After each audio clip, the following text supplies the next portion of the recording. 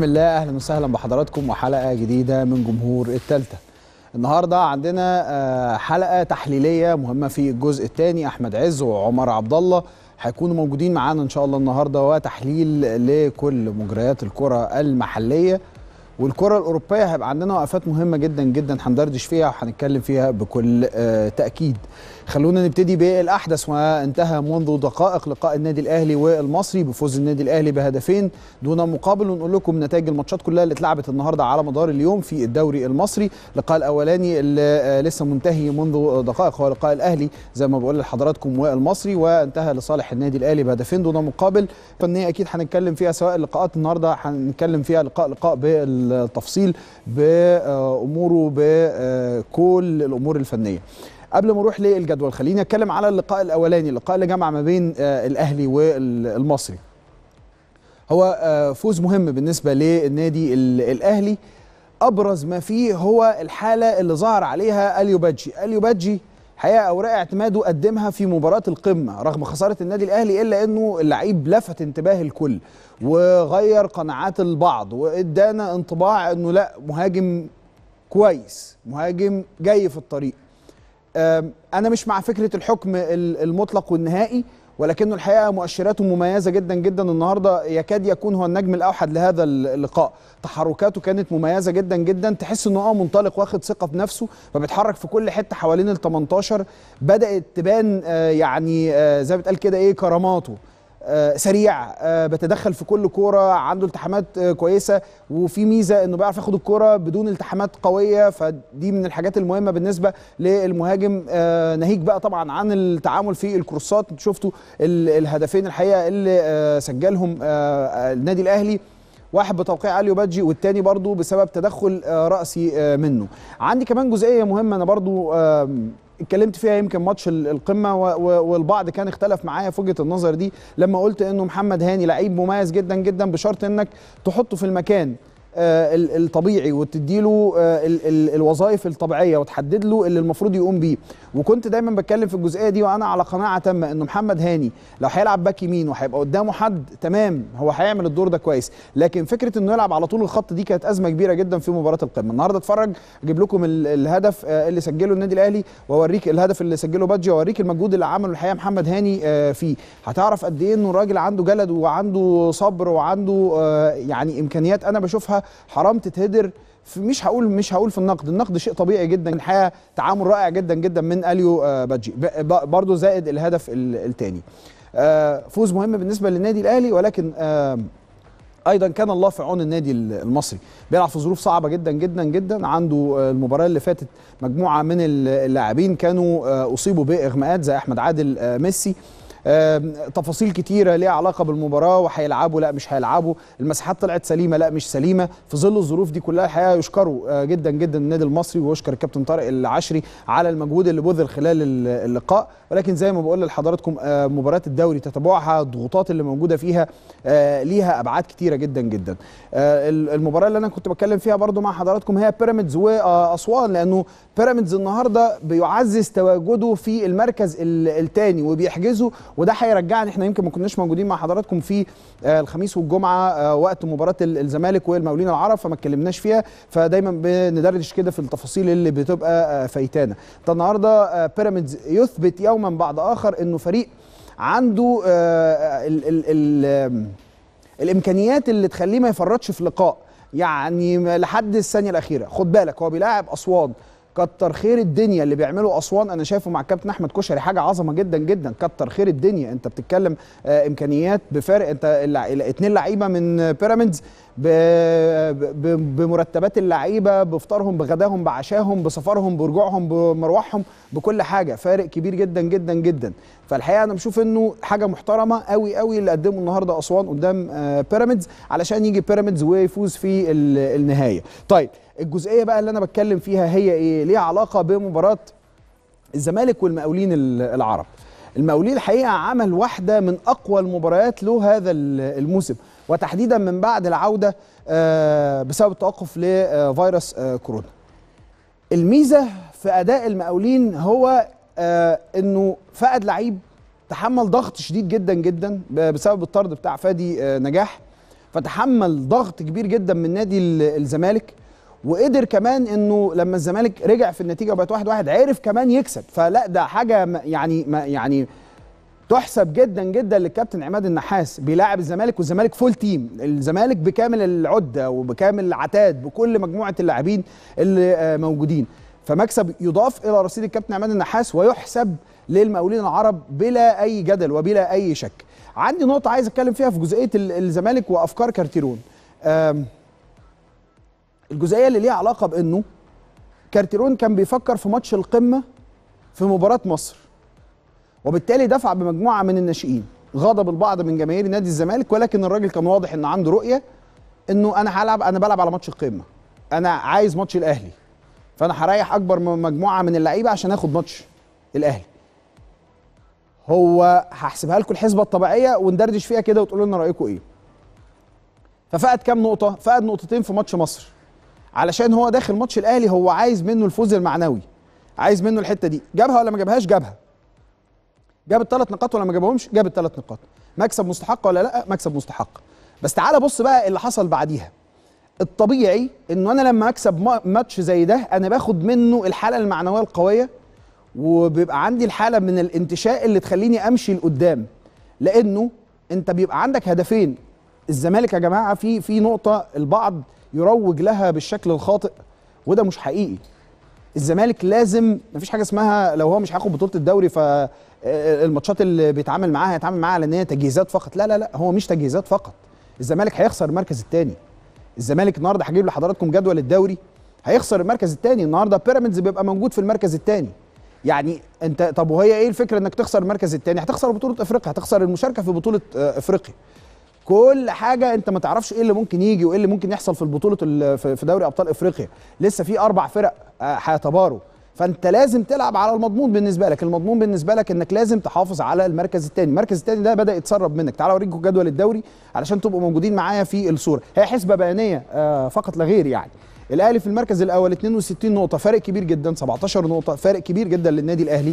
وضحت اهي خلاص ال ال الرؤية. والكل يعني شايف إنه مش مش يعني واضحة للكل إنه النادي الأهلي صعب جدا جدا أي حد ينافسه على بطولة الدوري رقميا وحسابيا وحاجات كتير جدا. بيراميدز بقى في المركز الثاني فكرة خطف المركز الثاني من نادي الزمالك دي مش صح بالنسبة للزمالك. عشان كده بقول لكم أو الزمالك بقى في المركز الكام؟ الثالث ب 42 نقطة. بص المقاولين في المركز الكام؟ في المركز الرابع ب 40 نقطة. ففي صراع أصلا اوريدي يعني يعني هو في منطقة صراع ما بين المقاولين وما بين آه، بيراميدز. المشكلة إنه في قدام نادي الزمالك للمركز الثاني هيعرضوا لمشاكل كتيرة ليها علاقة بالمشاركة في دوري أبطال آه، أفريقيا في النسخة المقبلة. طيب الجزئية بقى اللي إحنا بنتكلم فيها إيه؟ إنه لعيبة الزمالك فضلت مفكرة طول ماتش المقاولين واضح إن هم ما عرفوش يتخلصوا من ده آه لسه بيفكروا في في ال- في الفوز بتاع مباراة ال- الأهلي. وده وده أنت كفرقة كبيرة المفروض ما تفكرش كده المفروض تعدل تفكيرك تماما. انت تكسب الاهلي يا فرحتي وتخسر من المقاولين العرب. طب انت استفدت إيه؟ انت انت بتفقد خمس خمس نقط في ماتشين. الخمس نقط دول هيأثروا عليك في المركز الثاني آه هيأثروا عليك في المركز الثاني فأنا شايف إنه لازم يحصل تعديل. لازم يحصل تعديل في أفكار الراجل. لازم والناس تبقى برضو كده والناس اللي حواليه يقولوا له كده. الزمالك لازم يبقى آه الزمالك مركز على دوري أبطال إفريقيا. بس وأنت بتجهز نفسك لدوري أبطال إفريقيا اوعى تخسر ال- المركز الثاني اوعى تخسر الحتة ديت.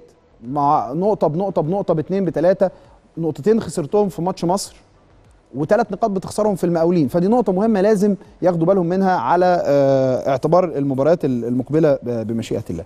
الحالات التحكيمية أنا هتوقف عندها أكيد لأنه النهارده في مباراة ال- الأهلي والمصري. كان عندنا حالات آه، تحكيمية ليها علاقة بثواني هيكون معانا كابتن سمير عثمان. علشان نتكلم في الحالات ال- التحكيمية لأنه عندك آه، لقطات سواء في مباراة أسوان وبيراميدز و آه، قولوا لي قولوا لي بتقولوا إيه يا شباب؟ طيب ماشي ماشي.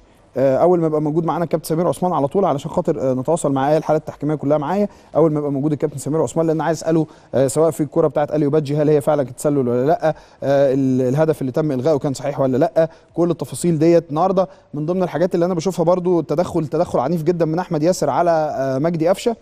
والحقيقة أنا استغربت جدا التدخل ده أنا حتى اعرضه لكم آه، اللي مخليني مستغرب شوية إنه أحمد ياسر بدل ما يقوم يعتذر لقفشة يعني أي حاجة من الحاجات اللي ليها علاقة بإنه التدخل كان قوي تدخل فيه حماس شديد جدا جدا يصل إلى حد العنف يعني.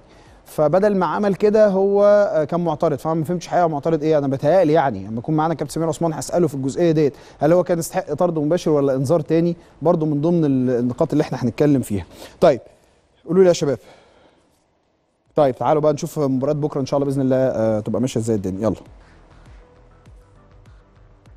بكره ان شاء الله باذن الله وادي دجله ونادي مصر الساعة 3 ونص سموحه وطنطا الساعة 6 الجونه والمقاولين العرب الساعة 6 الزمالك وامبي الساعة 8 ونص. ده بالنسبة لمباريات بكره باذن الله.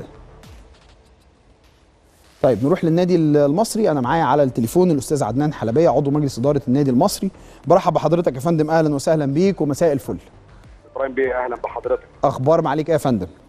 الحمد لله تمام الحمد لله. أسألك النهارده عايز أقول لك هارد لك أكيد آه، ظروف صعبة. قلت ده وأنا يمكن بعقب على ال- المباراة. كتر خير الدنيا كتر خير النادي المصري النهارده والكابتن طارق العشري والفريق بالكامل بيخوض مباراة في ظل ظروف صعبة جدا جدا سواء بالنسبة لإصابات كانت قبل كده في المباراة الماضية أو حتى الأمور اللي ليها علاقة بما قبل هذا اللقاء من آه، يعني تفاصيل طبية ومساحات سلبية إيجابية إيجابية سلبية. وهذه ال- الأمور اللي أكيد كان ليها انعكاس النهارده واضح آه، على فريق النادي المصري. أعرف من حضرتك الموقف دلوقتي عامل إزاي والله الموقف دلوقتي موقف سيء ومع يعني بيزداد سوء كل مدى وكل شوية بيزداد سوء والنهاردة أنا لما تيجي شركة النهارده تعمل rapid test. و rapid test وتطلع نتائج يبلغوا اتحاد الكرة نتائج سلبية ويبلغوا اللعيبة اللي قاعدة أنت نتيجتك إيجابية أنت نتيجتك إيجابية أنت نتيجتك إيجابية. طب اللي حصل؟ ده حصل إزاي؟ ما حدش عارف حاجة. فطبعا تواصلنا أو الكابتن عبد الزار تواصل مع اتحاد الكورة. قال له قالوا له طب إحنا هنعمل بي سي آر. عملوا بي سي آر. قال لك ده في خمس لعيبة نتيجتهم إيجابية. وكان الغريب بالنسبة لنا اللي هم جايين في الكشف ورا بعض بأكواد متتالية. وده حاجة الدكتور بتاع الفريق قال لك ممكن يبقى حصل حاجة زي اختلاط للعينات أو حاجة زي كده. لكن الواقع اللي موجود عندي لا في أعراض ولا في أي حاجة. قلنا طب نعمل check على الكلام ده. والنهاردة الصبح عملنا rapid test مرة ثانية rapid test تاني. تاني. آه.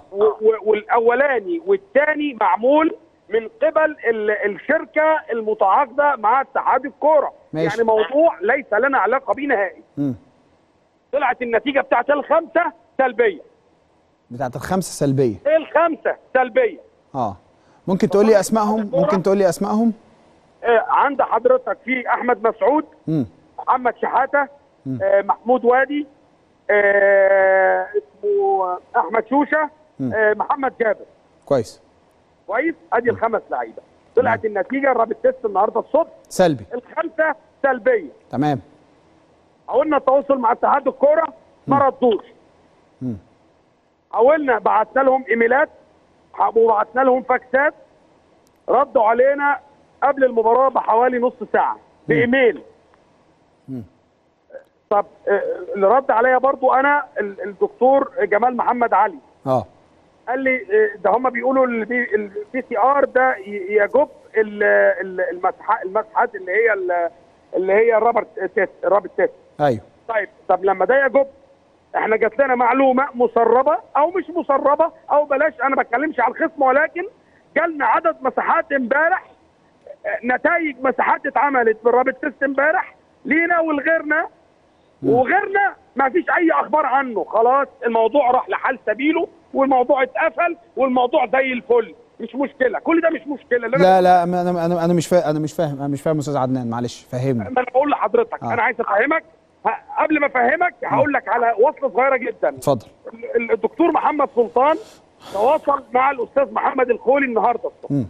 قال له يا دكتور في نتائج المساحات جبناها الشركة بتاعتكم الخمس مساحات سلبية. ماشي. قال له طب ما فيش عليهم أي أعراض؟ قال له ولا أي حاجة نهائي. آه. قال له طب إزاي؟ قال له ده من نفس الشركة؟ قال له آه. قال له طب ابعتها لي أو خلي أو كلم الشركة. خليهم يبعتوا لي الكلام ده رسمي وأنا بمجرد إن الكلام ده يجي لي رسمي هبعت. تمام. وراقب المباراه بحيث إن هو يفتح يبقى الخمسة لعيبة يكونوا متواجدين في الملعب. كويس؟ تمام. قعدنا في انتظار الفرج ما جاش الفرج. كلمناه. أو الأستاذ محمد الخولي كلمه فمعنى كلامه إن جات له تعليمات بعدم التحدث في هذا الأمر مرة أخرى. مم. طب إيه السبب؟ يعني ما هو أنا أنا أنا يعني عايز أفهم إيه السبب؟ مش عارف. بقول لحضرتك أنا رد على أنا رحت اتحاد الكورة النهارده. لقيتهم بيعقموه ما فيش ولا بني آدم هناك. مفيش حد في اتحاد الكورة. ولا بني آدم أنا طلعت بنفسي. طيب شايف الخمسه الخمسة دولت الخمسة دول ما لعبوش النهارده. ما- يا فندم ما لعبوش وأنا موقف الجون رقم خمسة أو رقم ستة عندي لأن ما فيش بطولة ناشئين. وأحمد مسعود نتيجته آه، سلبية. وبرضه اصر أنا قلت لهم طب الخمسة لعب منهم اثنين لا عندهم أي معالم ولا ونتيجة ال- الاختبار معانا إن هم سلبيين من شركتكم. وارجعوا لها. قال لك جت لنا تعليمات ما نتكلمش في الموضوع ده تاني. طيب. يعني إيه جت لكم تعليمات ما بيتكلموش في الموضوع ده تاني؟ أنا مش فاهم. ما معنى كلمة هذا المصطلح؟ والله العظيم عايز افهمه. معناه إيه؟ ما, ما, ما, تتكلمش في الموضوع ده تاني. طيب خليني أسأل حضرتك هي إيه الملابسات اللي حصلت بالأمس؟ هل كانت الأمور ماشية في ظل آه، تعاون ومساهمات منكم مع الاتحاد والأمور حصل فيها أزمة حصل فيها مشكلة ولا لأ؟ هقول لحضرتك. اتفضل. الأمور كانت زي الفل. لحد لما عملنا بقول لحضرتك اللي رابط تيست وبدأ ال- الناس وهم بيعملوا ال- التحاليل للناس بيبلغ كل لاعب وهو قاعد. انت ايجابي يقول له جاب إزاي؟ ده أنا لسه سلبي ده أنا لسه لاعب ماتش امبارح. حصلت بلبلة وحصل قلق. طيب يبقى رقم واحد تعقيب حضرتك على الجزئية دي إن هو ما كان يجب أن يبلغ اللاعبين بأي آه، مساحات وأن آه، تبلغ الإدارة زي ما كان بيتعمل بفاكسات رسمية وأنتوا تتعاملوا مع الموضوع. صح كده؟ دي أول نقطة. دي تاني نقطة. وهي دي اللي أنت عايز توصل لها اللي هي المشكلة اللي حصلت مع الكابتن عبد الظاهر. آه بالظبط كده. لما عملنا ال PCR. طلعت النتائج امبارح بلغونا بيها بقى أو بلغنا بيها الكابتن عبد الظاهر الساعة 9 بالليل أنا والأستاذ محمد الخولي مم. وطبعا قبل مننا طبعا إحنا وصلنا للسيد رئيس النادي كويس أول ما بلغنا إحنا قلنا له إيه يعني ما تتكلمش في أي حاجة عن القصة دي لأن إحنا عارفين إن النتائج دي أحيانا أو أو عندنا معلومة النتائج ان مدى صحتها بيبقى 50% 55% وبتحمل آه وبتحمل لأ وبتحمل صح وبتحمل غلط. وحصل معانا أخطاء قبل كده مع الشركة اللي عاملة. ماشي. فقلنا بس نتأكد ونشوف حل مع اتحاد الكورة إن هو نأجل يوم أو نعمل أي حاجة على ما نعمل PCR تاني. تمام. أو نقفل مسحة ال- في ال rapid test كويس؟ تمام. فهو قال لك طب أنا هبلغ الكابتن طارق. إحنا كإدارة قلنا له لأ ما تبلغش الكابتن طارق. ما نقدر الموضوع على رئيس النادي ونعمل محاولة مع الساده اتحاد الكوره. نشوف هن- هنعالج الثغرة دي إزاي لأن ما عنديش حراس مرمى. الولد النهارده اللي بيلعب اللي هو العايدي ده اللي بيلعب اللي هو 2001 ده مصاب. بيلعب وهو مصاب. بس مش مصاب بكورونا. عنده نوع ما من المس في أي مكان يكن لكن مصاب. وعندي تقرير رسمي. صبع عضلية. ماشي. فعنده اصابه عضليه. فهو ده اللي حصل. عشان كده الكابتن طارق افتكر الكلام ده يعني أو مش افتكر هو قال الكلام ده إزاي وده ما ينفعش وأنا المفروض كنت أنا عارف. ولكن البلبله اللي حصلت في المعسكر امبارح بالليل كنا إحنا عاملين حسابها لأن حصلت حاله من الصداع اللعيبه كلها مختلطه يعني سواء آه، بعض اللعيبه الخمسه دول متواجدين معظمهم مع لعيبه ثانية في اوض أو في تمرين أو ايا يكن. طبعا حالة من القلق والذعر انتابت المعسكر ويمكن حصلت مشادة ما بين الكابتن عبد الظاهر وللأمانة هو ما كانش السبب إحنا كمجلس إدارة اللي كنا مدين تعليمات بالكلام ده وعشان كده راجل قدم استقالته اللي إحنا ما قبلناهاش. هل لحد هل هل لحد اللحظة ديت ما قبلتوش استقالة الكابتن عبد الظاهر؟ بالظبط بالظبط. ما- قبلتهاش. قيمه كبيرة الكابتن عبد الظاهر قيمه كبيرة راجل محترم وإضافة كبيرة للنادي المصري. طيب ناويين تعملوا إيه؟ عندنا اجتماع مجلس إدارة في خلال يمكن ساعة ساعة ونص. إيه القرارات اللي أنتوا آه، هتتد- هتتداولوها المفروض؟ أو ح... هنتداول حق النادي فين من الصبح؟ آه. المستندات والحاجات اللي إحنا حضرنا فيها الشؤون القانونية من امبارح. آه، مدى آه، آه، هتمشي في أنه خط. الرأي العام لازم هيطلع على اللي حصل بتفاصيله بعد ما نرجع للشؤون القانونية عندنا. إيه اللي هيحصل في في في, في, في, في, في الشق الخاص بالكورة؟ أو هل في أي حاجة هتحصل أو أي أمور هتتم ده هنعرفه الوقت في خلال ساعة ساعة ونص لما نحضر الاجتماع إن شاء الله. طيب هل آه، النهارده كان في آه، بعض الأخبار انتشرت كده على المواقع قبل المباراة إنه المصري آه، حط في أو طلع لعيبة كمان على ال- ال- المباراة. اللعيبة دي مصابة بكورونا واتحاد الكرة اخذ باله فراح منعهم من الصعود للأتوبيس. هل الموضوع ده فعلا حصل؟ اولا ما حصلش. ثانيا ما حصلش لسبب لأن الأستاذ محمد الخولي وأنا في المعسكر من الساعة 5 مم. وللأسف الراجل عمل ال- المحاضرة بتاعه المباراة الساعة 6 وما بقاش عارف لأن أنا عاقدين وعود لحد الساعة 6 وبعد 6 دول ممكن يلعبوا هيلعبوا مش هيلعبوا. طب استنوا هنشوف. طب استنوا شوية استنوا. فالراجل مش عارف يحط تشكيل. ده للأمانة. وللأمانة أكتر اللعيبة اللي, اللي هم خلاص مش هيروحوا اللي هم عليهم المشكلة لأن إحنا ناس محترمة وناس عايزين الدوري يكمل. قلنا خليك انت يا ابني يلا افصل في الاوض افصل جبنا الاداريين قلنا لهم افصلوا اللعيبة دي في اوض منفصله مفيش ولا بني آدم على مسؤوليتي الشخصية الكلام اللي بقوله لحضرتك من الخمس لعيبة دول طلع. ولكن أنا بقول جايز فاكس اللي راح لاتحاد الكورة أو الإيميل اللي راح لاتحاد الكورة بطلب إن إحنا نلعب اثنين وادي المسحات بتاعت الخمسة اللي طلعت سلبية. فعايزين نلعب اثنين بس منهم. م. حد خده ولا حاجة وتعامل من خلاله سواء صحفي أو غيره. ما أعرفش ولكن ما حدش دخل مربع الاستاد نهائي من اللعيبة اللي عليها مشاكل خمس لاعبين اللي عليهم مشاكل أنا قلت اسميهم لحضرتك. هل الكابتن طارق العشري فعلا تقدم باستقالته؟ لا الكابتن طارق العشري قبل المباراة طبعا دار حوار مطول ما بين رئيس النادي وما بيننا وكان ممكن يتعمل سيناريوهات كثيره جدا كانت تحط هذا المجلس في وضع حرج جدا جدا جدا جدا قدام الكورة في إفريقيا كلها وفي العالم ولكن أستاذ رئيس النادي قال لك أنا راجل بحترم مصريتي وبحترم بلدي وبحترم نفسي وما ينفعش أحرج المنظومة ككل الرياضية في تصرف لإثبات أو اللي أنت بتقول أنا هنا. أنت مش عايز تسمع ليه؟ أنا هنا. أنت قبل ما تطلع بيان وترجع تحرج زي ما أحرجت في مباراة الإسماعيلي وبقت عاملة لك مشكلة على كل الأصعدة. كنت تسمع وافهم وتناقش ونوصل لحل. لا أنا هيبقى عندي مشكلة ولا أنت هيبقى عندك مشكلة. أول مره أول مرة ألاقيك منفعل يعني أول مرة ألاقيك منفعل. إن أنا أول مرة في حياتي أشوف إدارة بالطريقة دي. أول مرة في حياتي يا فندم انت أنت مش مصدق إن أنت بتتصل بحد يرميك على اللي بعده. إمبارح تتصل باللي بعده ويرميك على اللي بعده. النهارده ممنوع حد يرد. هو في كده. هو بس فالحين الناس تطلع في الإعلام يرد عليك في الإعلام. ما ترد عليا في الأوض المغلقة خمس دقايق. وأنا وأنت طلعنا بحاجة ريحتك وريحتني. وأنا هعمل الصح. وأنت هتعمل الصح. لكن بالطريقة دي إيه ده؟ مقدر مقدر مقدر حالة الغضب اللي, انت فيها ومقدر طبعا إنه أنتوا كمسؤولين عن النادي المصري في ظل حالة الإعياء اللي كانت موجودة في الفريق وفي ظل التضارب اللي موجودة فيها. وعارف إنه حريص جدا إنك حريص جدا جدا على انتقاء كمان كل الألفاظ اللي انت بتستخدمها. أنا يعني الموضوع هيفضل مفتوح معايا طوال الحلقة وهنحاول إن إحنا نتواصل الحقيقة مع الاتحاد ويكون عندنا رد في هذه الجزئية. هل هل ما حصلش تواصل في الساعات الأخيرة؟ أسباب عدم التواصل إيه؟ إيه, إيه الأزمة أو إيه المشكلة اللي حصلت ما بين النادي المصري وبين الاتحاد واللي بسببها؟ الموضوع بقى وصل للمشهد ده. لكن إن شاء الله بإذن الله الأمور تعدي على خير. اذا حضرتك أكدت إنه كابتن عبد الظاهر السقا لم تقبله استقالته وإنه كابتن طارق إيه يا فندم أنا سامع حضرتك أستاذ عدنان. أستأذن حضرتك بقى. اتفضل. لما تطلع حد من اتحاد الكوره أنا مش هطلع ارد عليه لأن أنا الحاجة اللي تخص النادي بتاعي وشغلي ما اطلعش ارد عليها بس أنا اعمل حاجة ثانية احسن. اتفضل. أنا هبعت لحضرتك كل المحادثات وكل النتائج لو اي حد من عند حضرتك من الإعداد. حالا حالا الإعداد دلوقتي ياخد من حضرتك كل حاجة أول ما يقفلوا معاك. والحاجات دي حضرتك زعها وقول لي ما تبقى حاجة زي كده ما بيتردش عليها ليه؟ بس.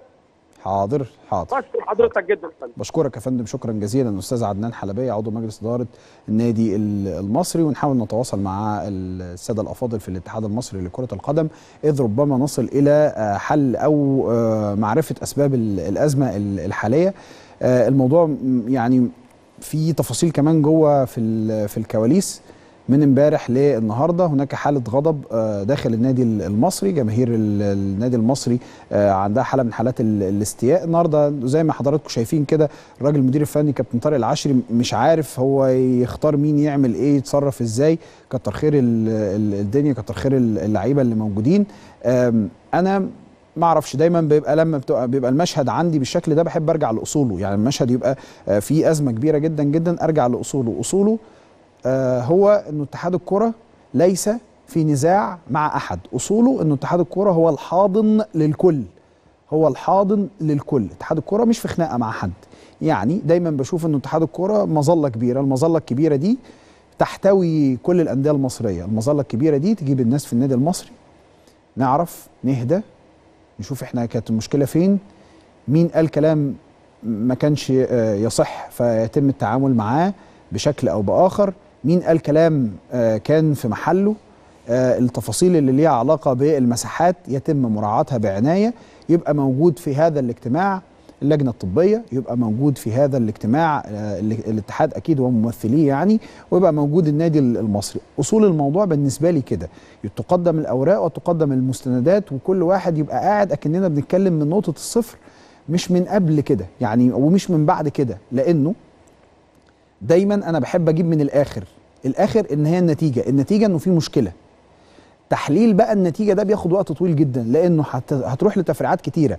أنت في الحتة الفلانية عملت كذا وأنت قلت كذا وأنت عملت كذا والمسحة دي أنت ما عملتهاش وأنا عديت لك دي وأنت ما عدتليش دي وأنا وافقت على كذا وأنت ما وافقتش على كذا.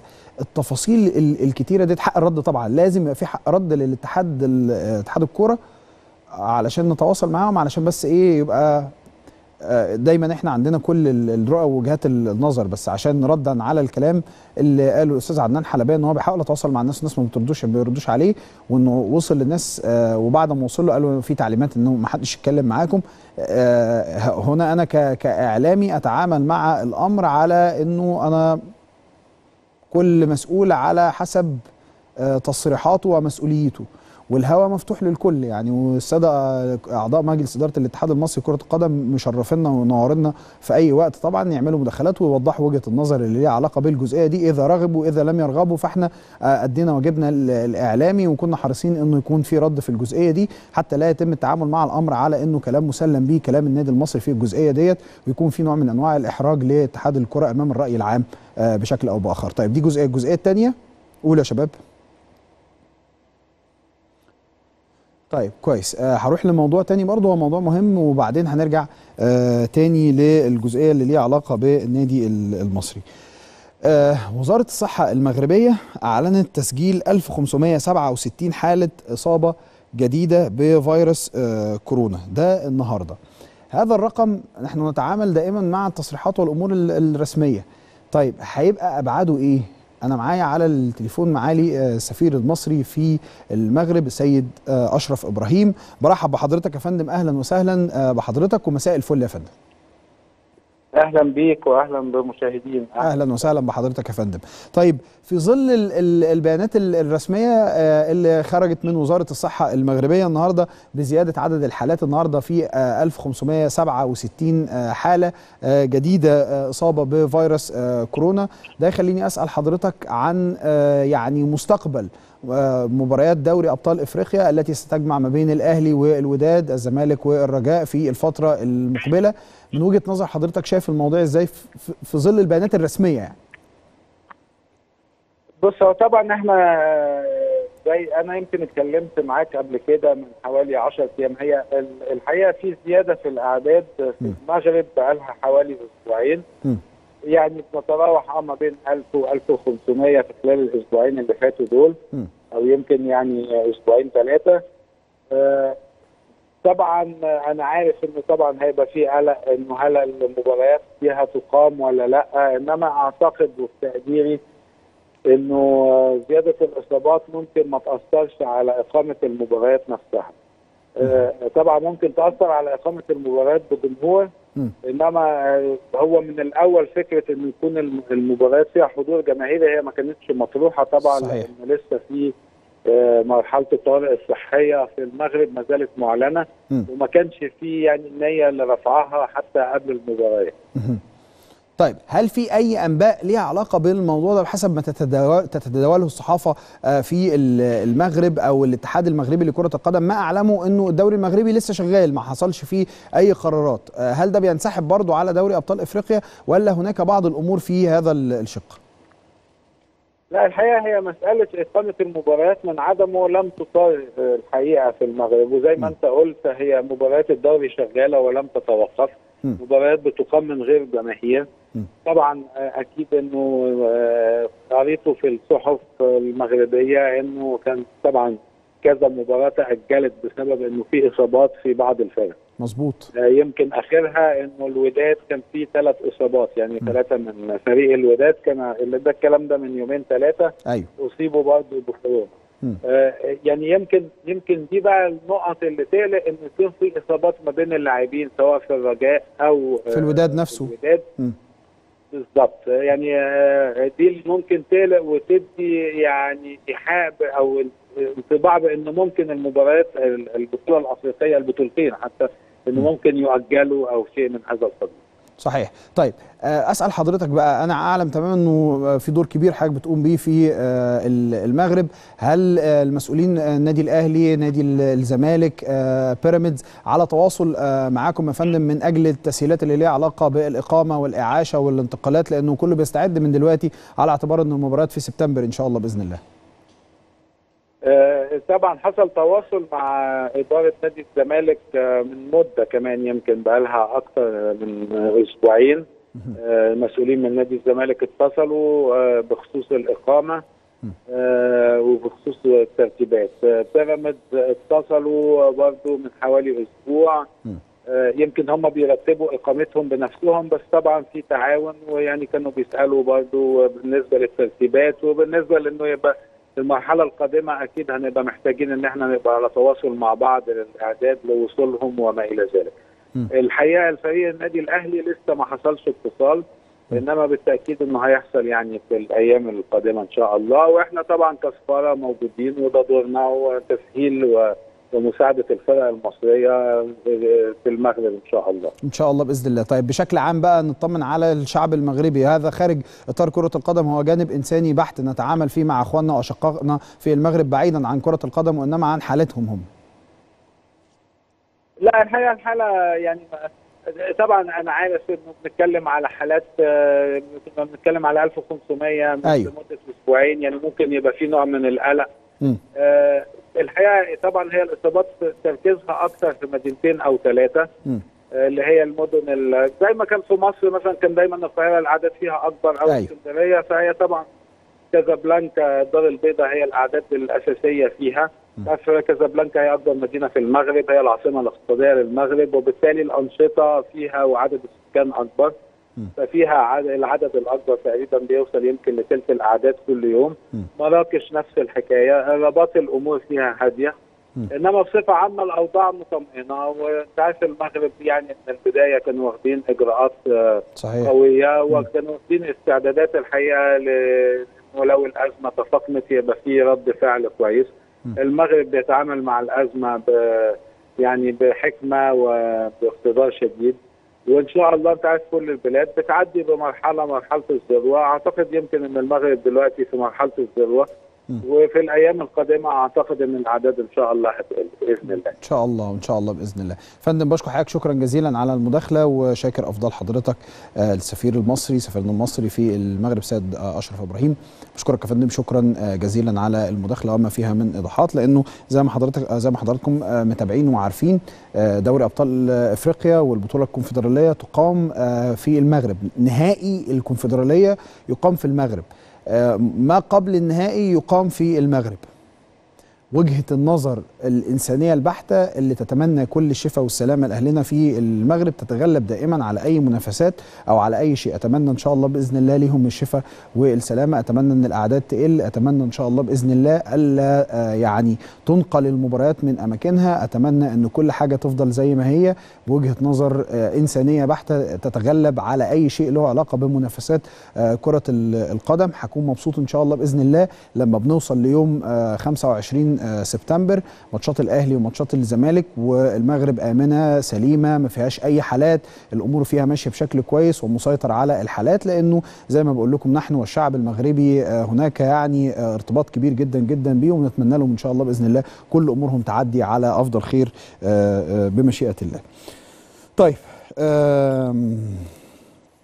كمل بقى الأخبار أنا عندي أخبار كتير جدا في الزمالك بيخاطبوا اتحاد الكورة للاعتراض على آه، تغيير طريقة ال- التحاليل.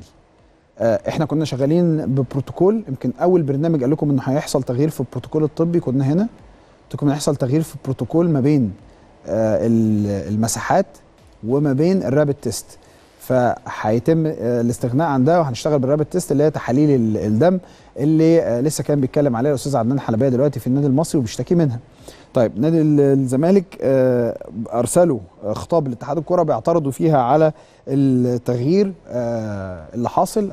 شايفين من وجهة نظرهم إنه ده مش سليم وطالبوا وطالبوا الاتحاد إنه يرد على ال- الخطاب اللي هم بعتوه ويبعتوا كمان لوزارة الصحة علشان يعرفوا هل الكلام اللي بيحصل ده كلام متفق عليه ومتوافق عليه ولا لأ.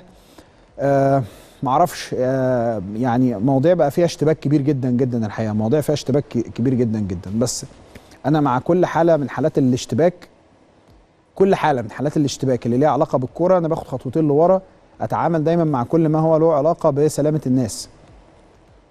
معلش هو وفي البرنامج ده ده ده اللاين ده الخط اللي أنا شغال عليه الحقيقة يعني إنه آه، مش أول حاجة بسأل عليها المباريات هتتلعب إمتى لما بعرف إنه في حالات إصابة الناس تعرف المداخلة الشهيرة اللي كان بيتكلم فيها الكابتن طارق العشري معانا هنا وقال لك إنه في آه، عدد كبير من الإصابات آه، حصل في نادي الإنتاج الحربي. كان أول حاجة بالنسبة لي ن- نطمن على الناس وبعدين بعد كده نشوف المباريات إمتى وتتلعب إزاي والتفاصيل ال- اللي شبه كده. في الحالات اللي بيبقى فيها دايما أزمات ومشاكل وبتاع ليها علاقة بالصحة باخد خطوتين لورا نطمن الأول على الناس وبعدين نشوف الدنيا هتبقى ماشية آه إزاي. فأتمنى الأمور تمشي بشكل كويس إن شاء الله بإذن الله. حازم إمام آه، بيغيب عن ال- الزمالك أمام امبي للاصابه آه برضو نفس القصة الإصابة اللي كان تعرض ليها حازم إمام في العضلة ال- الأمامية. على فكرة هو كان بدأ كان يشتكي منها في مباراة ال- الأهلي وشمر حتى كمان كده إيه الشورت لو أنتوا واخدين بالكم في آخر مباراة ال- الأهلي. في أول المباراة بتاعت المقاولين العرب راح مشمر الشورت نفس التشميرة. أنا قلت بس حازم مش حي مش هيكمل وفعلا حصلت ال- الإصابة اللي آه، اتصابها وبالتالي مش هيكون موجود مباراة امبي تعالوا نشوف آه، تقرير بقى بمناسبة إن إحنا بنتكلم على مباراة الزمالك وامبي نشوف تقرير آه، لهذا اللقاء. وبعدين نرجع نكمل كلامنا مع حضراتكم. طيب زي ما تابعتوا كده خلال التقرير المباريات والدوري والزمالك وامبي والدنيا دخلت في في المعمعة.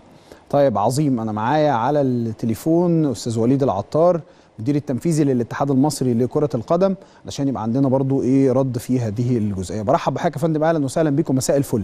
مساء الفل. إزيك يا أستاذ إبراهيم؟ أخبار معاليك إيه؟ الحمد لله تمام. لك. مني كل تقدير وتحية. آه بره بره أي شيء أنت عارف آه، أنا متابع كويس وفي الكواليس بشوف المجهود اللي أنت بتبذله أنت شخص مقدر لدى الجميع ده بكل تأكيد. و...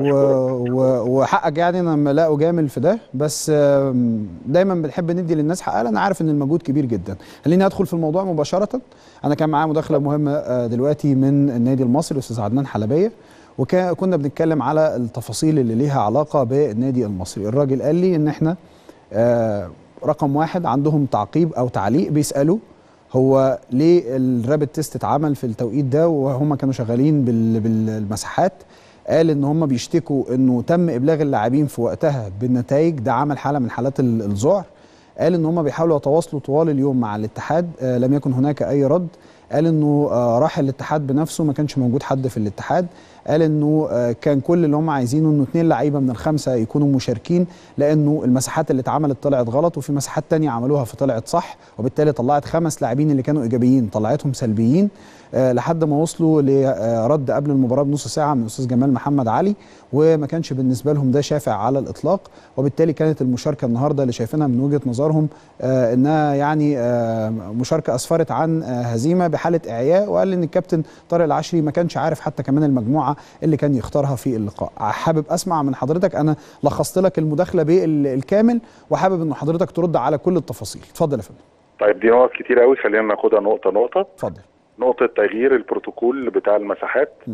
ده إحنا اخترنا بيه الأندية من حوالي أسبوع أو 10 أيام. بجوابات رسمية لكل الأندية ان بروتوكول المساحات تم تغييره أو تم تعديله آه مش من عندنا مش إحنا اللي غيرناه. ده وزارة الصحة آه آه وده بجوابات رسمية موجودة وزارة عندي. الصحة هي اللي أختارتكم بتغييره. يعني م- مش منكم أنتوا مش من نفسكم أنتوا. طبعا. لا تمام. خالص خالص. في الأمور الصحية والطبية يا أستاذ إبراهيم ما فيهاش ما فيهاش اجتهاد. تمام. لازم بتلجأ لاصحاب الرأي والقرار في الموضوع ده. وتقول لهم نعمل دي ولا نعمل دي ولا هم يقولوا لنا نعمل إيه. مظبوط. فاتقال لنا أو البروتوكول الجديد هو عبارة عن إن إحنا بنعمل حاجة اسمها ال rapid test أو ال scanning اللي هو ال- ال- التحليل السريع لفيروس سي ومن آه، تظهر عليه أعراض أو يحصل شك يتعمل له مسحه تمام. okay؟ تمام. وده اللي إحنا ابتدينا ننفذه بداية من الأسبوع ده إن إحنا بنبعت الفريق الطبي يعمل المسحات السريعة ولو طلع فيهم أي حد إيجابي بنبعت الفريق التاني إن هو يعمل المسحة ال- الطبيعية اللي اللي بت- كان بتتعمل قبل كده. تمام. آه، المسحة اللي هي ال- العادية. آه ال PCR دي. ال PCR لو اتعمل أنا بح... يعني أنا مش عارف ترجمتها بالعربي ماشي. فبحاول آه، أقول آه، معناها يعني. ال PCR لو طلعت آه، إيجابي خلاص يبقى ده موضوع final إيجابي ما نقدرش ننزله الملعب. لو سلبي يبقى خلاص بيقدر ينزل الملعب. ال- آه، ده بالنسبة للبروتوكول. بالنسبة اللي حصل مع النادي المصري آه، إن إحنا بعتنا يوم ال- الخميس الفريق الطبي عشان يعمل المسحة السريعة. عمل حوالي 21 فرد في فريق النادي ال- المصري. وبعد كده حصل يعني رفض. لاستكمال ال- ال- ال- المسحة. رفض؟ و- رفض. آه. إيه الأسباب؟ آه، آه، لا إحنا مش واثقين في دي إحنا عايزين القديمة. آه، القديمة أحسن. طب أنتوا بتعملوا كده ليه؟ فاتكلمت مع كابتن عبد الظاهر السقا. قلت له إيه المشكلة اللي عندك؟ قال لي آه، اللعيبة مش واثقة في هذه المسحة. قلت له ما ينفعش أنا وأنت أو اللعيبة نتكلم في حاجة طبية. طالما آه، المسؤول عن الملف الطبي دي اللي هو وزارة الصحة قالت أوكي على ده فإحنا بنتبع هذا البروتوكول. أيوه. آه، برضه استمر الرفض و- وبعدوا الفريق الطبي خرجوه من المعسكر وما استكملش المسحة بتاعته. ما استكملوش المسحة. ما استكملوش و- المسحه و- واللي كان طلع فيها خمسة سلبيين بحسب كلامهم يعني بعد ما وصل آه، آه، خمسة إيجابيين عفوا خمسة على إيجابيين. حسب لا لا على حسب الكلام اللي كان وصلني من الكابتن عبد الظاهر وما كانش رسمي من الفريق الطبي إن هم عملوا 21 مسحة طلع منهم 11 إيجابي. 11 إيجابي؟ آه. ده كان كلامه إنما ده مش حقيقة. يعني أنا بقول لك ده كان كلامه ليا. ده كان آه، كلامه إنما ما كانش حقيقة. إنما ما كانش حقيقة لأن ال- المساحات ال- ال- السريعة دي كان مبينة إن ال 20 أو ال 21 فرد طلعوا آه، سلبيين. يعني لما طلع لي التقرير آه. اللي اتبعت لهم رسمي برضو إن كان ال 20 مسحه دول سلبيين. ال 20 بالكامل سلبيين ما فيهمش آه. ولا حاله إيجابية؟ آه. مش آه. زي ما بيقولوا إنه في خمس حالات ده الرسمي اللي طلع. منهم قالوا إنه في خمس لا، لا، حالات لا. إيجابيين. لا لا أنا بكلمك بس يا أستاذ إبراهيم المسحة السريعة. المسحة اللي هي ال rapid test ال rapid test المسحة السريعة اللي هي. بتاعت الدم تحليل تحليل الدم يعني. أيوه. بالظبط. أيوه ف... آه، فكان لما بلغني كابتن عبد الظاهر إن في 11 حالة كنت وجهت ال... ال... الفريق الطبي الثاني إن هو يروح لهم يعمل PCR بسرعة. كويس. طالما في 11 حالة إيجابية. ال... الشركة المسؤولة عن ده قال... قالوا لي مين اللي قال لك في 11 حالة إيجابية إحنا لسه ما طلعناش التقرير قلت لهم معلش كده كده هنوجه. للفريق الثاني يعمل ال PCR للعيبة عشان برضه نطمن تمام اتعمل ال PCR لكل. اتعمل ل 42 شخص 42 شخص 42 شخص ده اتعمل الساعة كام يا فندم؟ ده امبارح مساء كده مظبوط ولا ده إمتى اتعمل امبارح مساء. امبارح مساء. لا تمام. لا آه أول امبارح. أول امبارح. امبارح مساء. تمام. آه طلعت النتيجة امبارح بتاعه ال PCR مم. حوالي الساعة 6 بعد الظهر. آه كان فيها خمس حالات إيجابية. خمس حالات إيجابية. okay. تمام. وأرسلنا ال ال ال ال النتائج لكابتن أنا أنا شخصيا أرسلتها لكابتن عبد الظاهر السقا تمام. على تليفونه. تمام. وحصل حوار بيني وبينه حتى على الواتساب. آه طب ليه؟ طب إحنا نرجع أحسن بقى لل rapid test قلت له خلاص طالما عملنا ال PCR ال PCR هو اللي بيمشي. نتيجة ال PCR هي اللي بتمشي. مم. طب إحنا اللعيبة كده إحنا هيبقى عندنا مشكلة هيبقى عندنا مشكلة في حارس المرمى. قلت له أنا ما أقدرش ألاعب حد. إيجابي وأنزله الملعب ويختلط بالناس. مش لا لا سلطتي ولا سلطة أي حد إن هو آه. يقدر يعمل هو. قال لك بقى في الحالة دي هو قال لك هنا أنا عايز أرجع بقى لل لل rapid. آه لأن المسحة السريعة طلعتهم كلهم سلبيين فأنا تمام. أنا عايز أرجع للمسحة السلبية. فأنت قلت له لا ال PCR تجب ما قبلها خلاص. بالظبط. وبالتالي حضرتك كده عندك آه إيجابي. الإيجابي ده مش هينزل الملعب. قال لك لا طب الخمسة دول خدهم معاه آه، قلت له لا مش هينفع. صح كده؟ مظبوط. طيب مظبوط كده. كمل يا فندم. كمل. فالنهارده بقى حصل آه إيميلات آه ما بين النادي المصري وما بيننا. لا أنا عايز أرجع لل rapid test أو الن- النتيجة بتاعت ال rapid test بعتنا له قلنا له طبيا. ال- ال- الدكتور محمد سلطان رئيس اللجنة الطبية عمل تقرير إن ده لا يجوز. طالما عملنا ال PCR ودي الحاجة النهائية مم. ما ينفعش إن إحنا نرجع نرجع لل rapid test تاني. مم. فبالتالي الخمس لاعبين الإيجابيين ما ينفعش ينزلوا الملعب. وعملنا لهم جواب بهذا الكلام. آه، طبعا إحنا بنتكلم بقى ال- ال- ال- الحوار اللي داير طب إحنا هنلعب إزاي؟ طب إحنا هنعمل إيه؟ أنا ما عنديش غير اتنين حراس. فدي دخلت في مشكلة فنية ملهاش علاقة بالطب. وأنا كمان ما أقدرش كاتحاد كورة إن أنا أخاطر بالفرقتين وأنزل لاعب إيجابي الملعب. بس فده كان ال- هو مش مش قرار ولكن ده ده, ده الإجراء الطبيعي المتبع إن لو ظهر حد إيجابي ما ينفعش ينزل الملعب. صحيح. طيب هسأل حضرتك في جزئية. متى اخترتم النادي ال- المصري بأنه بضرورة إن أنتوا تشاركوا آه والخمس لعيبة دول ما يكونوش موجودين؟ لأنه آه كان معايا الأستاذ عدنان آه من شوية بيقول إنه كنا واخدين وعود لحد الساعة 6 7 إنه ممكن الخمسة دول يشاركوا. هل أنتوا قطعتم وعود على أنا مش نفسكم؟ عارف. أنا مش عارف مين اللي عمل الوعود بالظبط. أنا عن نفسي ما كانش فيه الكلام ده. لحد امبارح بالليل. ويمكن كنا على الهوا أنا وكابتن طارق العشري. آه، مع كابتن أحمد شوبير وقلنا إن الإيجابيين ما ينفعش يلعبوا. ولازم يكون في بدايل عنده فنية. إنما أنا ما أقدرش أنزل لاعب إيجابي. يعني يمكن كان حتى كابتن طارق بيشتكي امبارح إن النتائج لحد الساعة 12 بالليل ما وصلتوش. قلت له ده أنا أنا يعني أنا أنت حضرتك بريء أنت حضرتك بريء من القصة ديت وأنا ببرئك أهو على الهوا لأن أنا كان معايا الأستاذ عدنان حلبية قالوا إن إحنا اللي قلنا للكابتن عبد الظاهر لا يخطر المدير الفني في هذا ال- التوقيت آه، أول لما حصل ال- الموضوع. ده بس بالمناسبة. طب الحمد لله. ده بالمناسبة يعني هو الحمد لله. ظهرت الحقيقة. في النص كده. في النص آه في هي وصلت في هي جت في النص كده مش متشافة قوي هي جت في النص. طيب تمام. أنا عندي سؤال سؤال بقى. خلاص أنا خلصت الأسئلة اللي عندي من النادي المصري. اتفضل. نعمل إيه علشان نحل مواضيع النادي المصري؟ يعني أنا عارف إن أنت صدرك رحب وعارف إنه اتحاد الكره صدره رحب جدا جدا في التعامل مع هذه الأمور. نعمل إيه علشان الأزمة دي كلها على بعضها تتحل. أنا دايما بقول وأنت عارفني بره الهوا زي جوه الهوا. إحنا كلنا في مركب آه، واحد. بص إحنا بنعمل كل اللي نقدر عليه عشان نساعد النادي المصري. مم. ويمكن كان في أكتر من قعده و آه، مع مجلس إدارة الاتحاد مع اللجنة الخماسية. آه، آخرهم لما كان في آه، آه، مشكلة عندهم في في تقرير المسحة آه، اللي هي كان فيها اتنين زيادة وإحنا كنا لغينا الماتش. مم. محدش كابر اللجنه الخماسية ما كبرتش وقالت لأ آه، إحنا لو خدنا قرار ومش هنرجع فيه لأ لقوا إن في حق النادي المصري رجعوه على الرغم من كل الانتقادات اللي وجهت ليه مع مع إن أنا هنا قلت لكم برافو 10 على 10 ما قللش منكم. دايما ده دور الكبير. الكبير بيحتوي الناس ما فيهاش مشكلة يعني. كان قرار للناس. بصراحة اللجنة الخماسية إن طالما في حد له حق لازم ياخده مهما يكن الغلط عند مين ونبتدي ندور على الغلط فين ونصلحه. مم. إنما النادي المصري ياخد حقه. فما اعتقدش ان ان حد بيعمل كده آه، ممكن ان هو يكون جاي على على النادي المصري. وليه؟ عشان إيه يعني؟ مم. أنا مش شايف سبب ان حد يجي عليهم هم عندهم مشكلة من أول الموسم إن عدد اللاعبين المقيدين قليل أو يعني المدير الفني مش مقتنع بي- بيهم أو حاجة وكان عندهم مشكلة في القيد. فدي من بره مش مش مش من الاتحاد المصري من أيوة. بره مصر ف- فبالتالي آه، الخيارات آه، أعتقد الفنية للاعبين مش مش متاحة.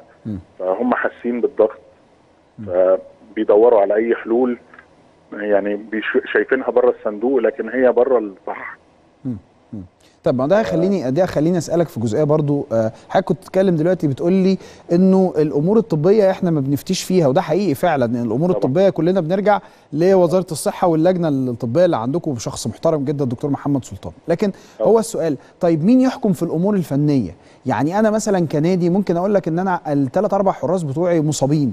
فالثلاث أربع حراس بتوعي مصابين أعمل إيه؟ هي دي. مين مين جوه اتحاد الكورة؟ أربعة. هو عنده مشكلة إن هو مأيد اتنين حراس. مايد اتنين حراس مش آه مش ثلاثة أربعة آه. يمكن أنا حتى كنت في في قعدات مع كابتن عبد الظاهر بقول له أنت عندك 17 لاعب ناشئ مصاعدين مم. للفرقة هاتهم ومرنهم مع الفرقة مم. طالما أنت عندك نقص وعندك مشكلة هات ال 17 لاعب الناشئ المصاعدين مم. للفريق الأول هاتهم ومرنهم مع الفرقة مم. فقال لي هيبقى العدد كبير قوي طب ما أنت عندك مشكلة وعندك نقص أنا مش عايز افتي في الأمور الفنية بس أو. أو أقول أو أتدخل في الأمور الفنية يعني إنما آه، يعني لا أنا أنا أنا أنا أنا اللي سألت حضرتك حضرتك ما بتفتيش في آه. الأمور الف... أنا اللي سألت حضرتك بقول لك من من الذي يملك حق القطع والقرار في الأمور الفنية إذا الأندية اشتكت؟ يعني هو- ال- الحتة الطبية الحتة الطبية آه، حضراتكم بت... ب... بنرجعها كلنا لوزارة الصحة. طيب أنا لما يكون أنا عندي مشكلة في مثلا في مركز من المراكز ما بقاش عندي فيه لعيبة ومركز حراسة المرمى مركز حساس مين اللي يقطع لنا في الحتة ديت؟ مين اللي يقول لنا طب خلاص يا جماعة طالما أنتوا عندكم مشاكل ما فيش يبقى خلاص إحنا المباراة ديت آه، هنعمل فيها كذا. لا المباراة دي تتأجل. لا المباراة دي ما ينفعش تتأجل. لا انت عندك آه، حارسين تانيين المفروض ان انت تلعب بيهم. الأمور الفنية مين اللي بيتكلم معاهم علشان يبقى هنا محدش آه، بيقول ومحدش بيسمع له أو محدش بيسأل؟ كل- اتفضل يا كل فندم. الناس بتتكلم معاهم يعني سواء كابتن أحمد عبد الله أو كابتن محمد فضل أو دكتور جمال. عشان هم اللي أكثرنا خبرة فنية. أعتقد حصل حوارات كتيرة في الأمور دي. آه إن أنت لازم تستعين بال بال بالشباب الصغير أو بال بفرقه 99 أو م. بالناشئين اللي معاك وصعدهم حتى حتى المباراة الأولانية لما كانت اتلغت م. كان حصل حوار من هذا القبيل م. وأنت فين فرقه 99 لا ما ما بتتمرنش طب ما يا جماعة هاتوهم مرنوهم حصل واقعة و- ولقيتوا إن أنتوا عندكم أزمة وعندكم نقص. طب هاتوا بقى الولاد الصغيرة كده يتمرنوا معاك وممكن تسد بيه الثغرات. يعني ما, ما هي دي الأمور الفنية اللي بقول لك يعني أنا مش. مش عايز أتدخل فيها قوي عشان ما يبقاش تدخل آه، طيب. في في في, في حاجة ما تخصنيش أو يعني ما هيقال وليد العطار ما عندوش خبرة فيها فليه بيفتي يعني. طيب هسأل حضرتك في جزئية آه ليها علاقة بنفس الموضوع. هل ال rapid test تم اعتماده وسيتم العمل به من الآن فصاعدا وفق ما آه أكدت وزارة الصحة وف- وفق ما أكدتم لأنه أنا عندي كمان آه خبر أنه الزمالك معترض على ال rapid test. نادي الزمالك عمل ال rapid test already عمل ال rapid test already بس بعت لكم هو خطاب. مش عارف أنا ما شفتوش الحقيقة. بعت لكم خطاب هو ممهور وموقع بتوقيع الأستاذ آه، أو سيادة اللواء علاء مقلد معترض فيه على ال rapid شفتوش test. الحقيقة. هشوف الصبح وهنرد عليه ب ب ب. بأن البروتوكول ده جاي من وزارة الصحة. وأعتقد آه، ال- الفريق الطبي في نادي الزمالك لما هيعرف ده مش هيعترض يعني صحيح وبعدين إحنا ما بنعملش rapid test بس يا يا أستاذ إبراهيم. إحنا لو في شك في لاعب. أو لاعب طلع إيجابي بنقوم عاملين المسحة مفهوم؟ آه أنا فهمت من حضرتك حاجة بتقول دلوقتي إنك بتعمل التحليل الدم ده الأول وبعد تحليل الدم إذا ظهرت عندك حالات إيجابية فبتقوم عامل له الرابid تيست. طلعت سلبية لأنه آه كده أنت بت- بتقلل آه عدد تعرض الناس للمساحات. فإذا طلع مثلا عندك خمسة إيجابي ولا حاجة بتعمل لهم التحليل. إذا طلعوا سلبي خلاص آه بيلعبوا. ما طلعوش. خلاص صح كده هي مظبوط؟ بالظبط هي بالظبط كده هي بالظبط كده. أنا فاهم صح. طيب تمام. أسأل بقى في في, في جزئية آه تانية. الأهلي والزمالك هيلعبوا فين في, في بطولة إفريقيا؟ هنا في, في القاهرة. هيلعبوا فين؟ اتحددت ملاعبهم ولا لسه؟ آه ال- الزمالك كان اختار آه، استاد برج العرب. مم. والنادي الأهلي اختار استاد السلام. مم. وغالبا ده اللي هيتلعب عليه المباراتين يعني. خلاص كده ده بشكل آه نهائي. إن شاء الله. إن شاء الله بإذن الله. طيب هل متابعينا يمكن كان معايا على التليفون سفير مصر في ال- المغرب وكنت بتكلم عن النهارده في حالات بتزيد النهارده 1500 حالة آه، إصابة بفيروس آه، كورونا في ال- المغرب. هل أنتوا كاتحاد متابعين الموقف ده؟ عندكم أندية مصرية هتشارك في المباريات هناك متابعين ولا لأ؟ في متابعة لل- للحالات ودكتور محمد سلطان يمكن بيتواصل مع حد هناك related بوزارة الصحة أو حاجة زي كده أو له في في في المجال الصحي في المغرب. ويعني لو في أي precautions المفروض أو يعني إجراءات احترازية تتعمل لفرقنا هنخطرهم بيها على طول طبعا. إن شاء الله بإذن الله. آه، آخر حاجة هل تم احاله بعض المسؤولين آه، في منظومة كرة القدم للجنه الانضباط بالفعل أم لا؟ بص يا كابتن إبراهيم خلينا نقول إن إحنا عايزين آه، نتعامل بشكل آه، احترافي اتفضل آه، لو أنا عندي معترض على أي حاجة آه، لو أنا كنادي معترض على أي حاجة م. في طرق شرعية وقنوات شرعية للاعتراض ولتقديم وجهات النظر. آه، أي حد هيخرج عن النص أو عن هذه الطرق آه، لجنة الانضباط مشكلة عشان كده. آه، أي حد فيه آه، تصريحات أو أو أو آه، إشارات أو تلميحات آه، خارجه عن النص. بتتعرض مباشرة على لجنة الانضباط. وأول ما بيتاخد قرار بيعلن عنه.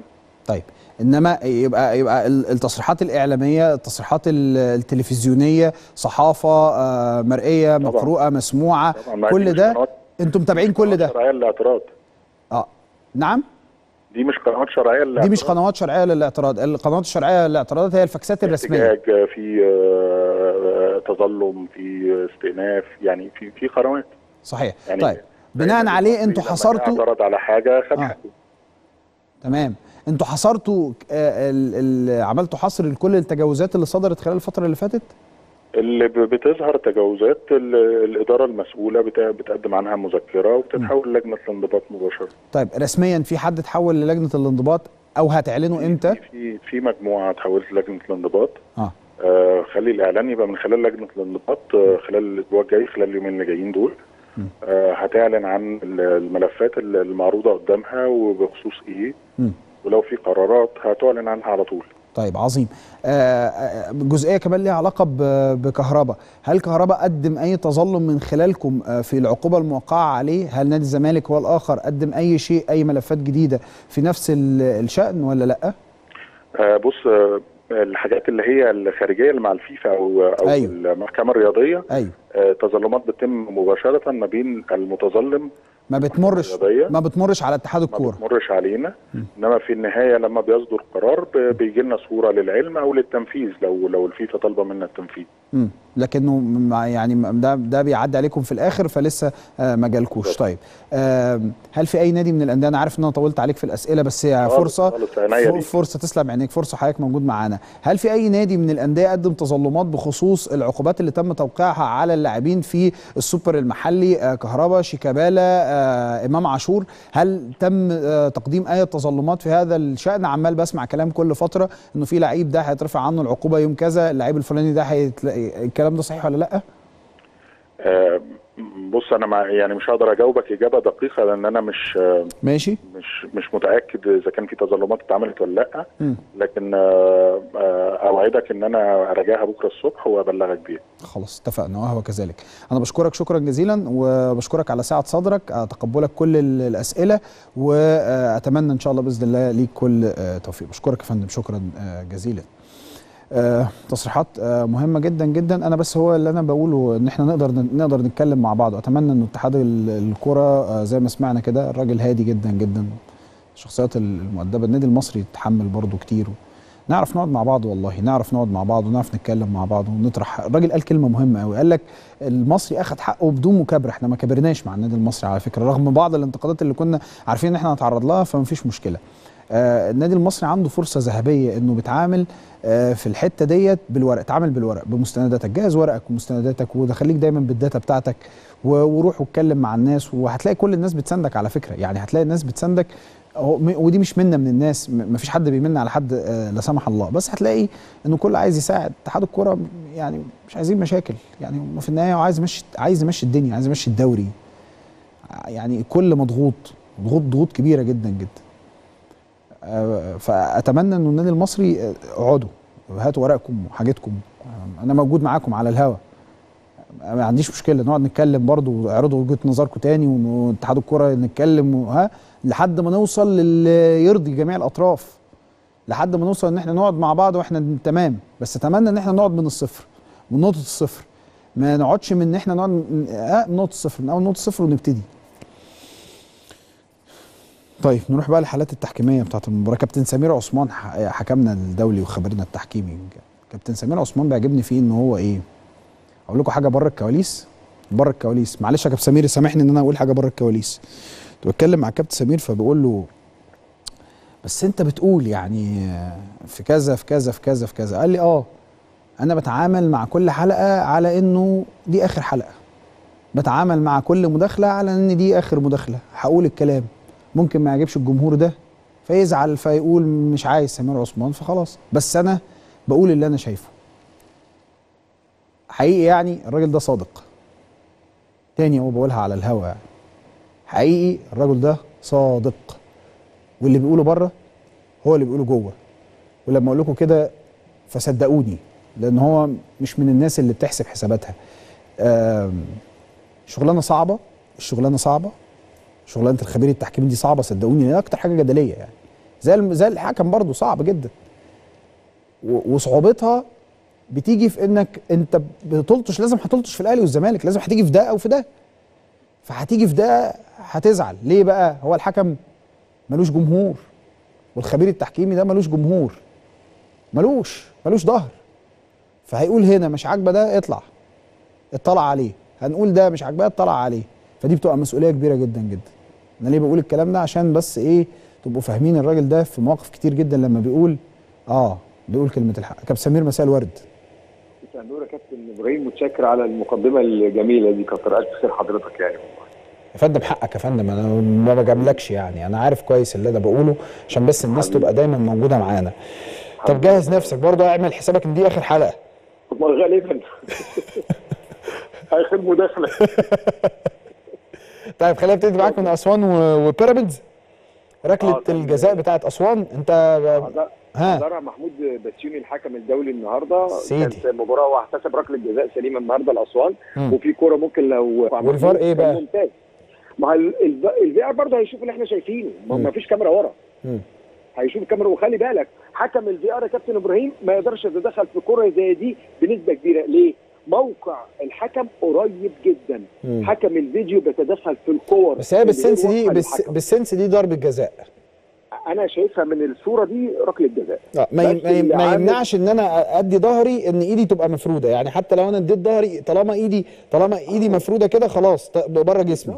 ما تطلعش بره برافو عليك ولا تطلع بره جسمك كده ولا آه. تعليها فوق كده آه. أنت مكبر جسمك أما تجيب إيدك زي ما آه. أنت حضرتك عامل كده كبرت جسمك.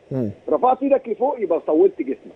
وهنا بقى التعمد هنا بقى خلاص مش موجود بقى. نشيل كلمة التعمد طالما إن في تكبير جسم سواء بالجنب أو الارتفاع من فوق. طيب ودي. طبعا لعبه كانت مهمة كنت أتمنى بس لو في كاميرات تدعم قرار الحكم. يعني كان نفسي أدعم قرار الحكم في كوره زي دي. ماشي نروح لمباراة ال- ال- الأهلي وال- والمصري. الأهلي والمصري قدرها التح- التهور آه. وقريبة من استخدام قوة زي ده فامين طبقا لفهم برضو القانون. خلاص هو من وجهة نظره إنه يدي هنا تهور إنذار يبقى خلاص.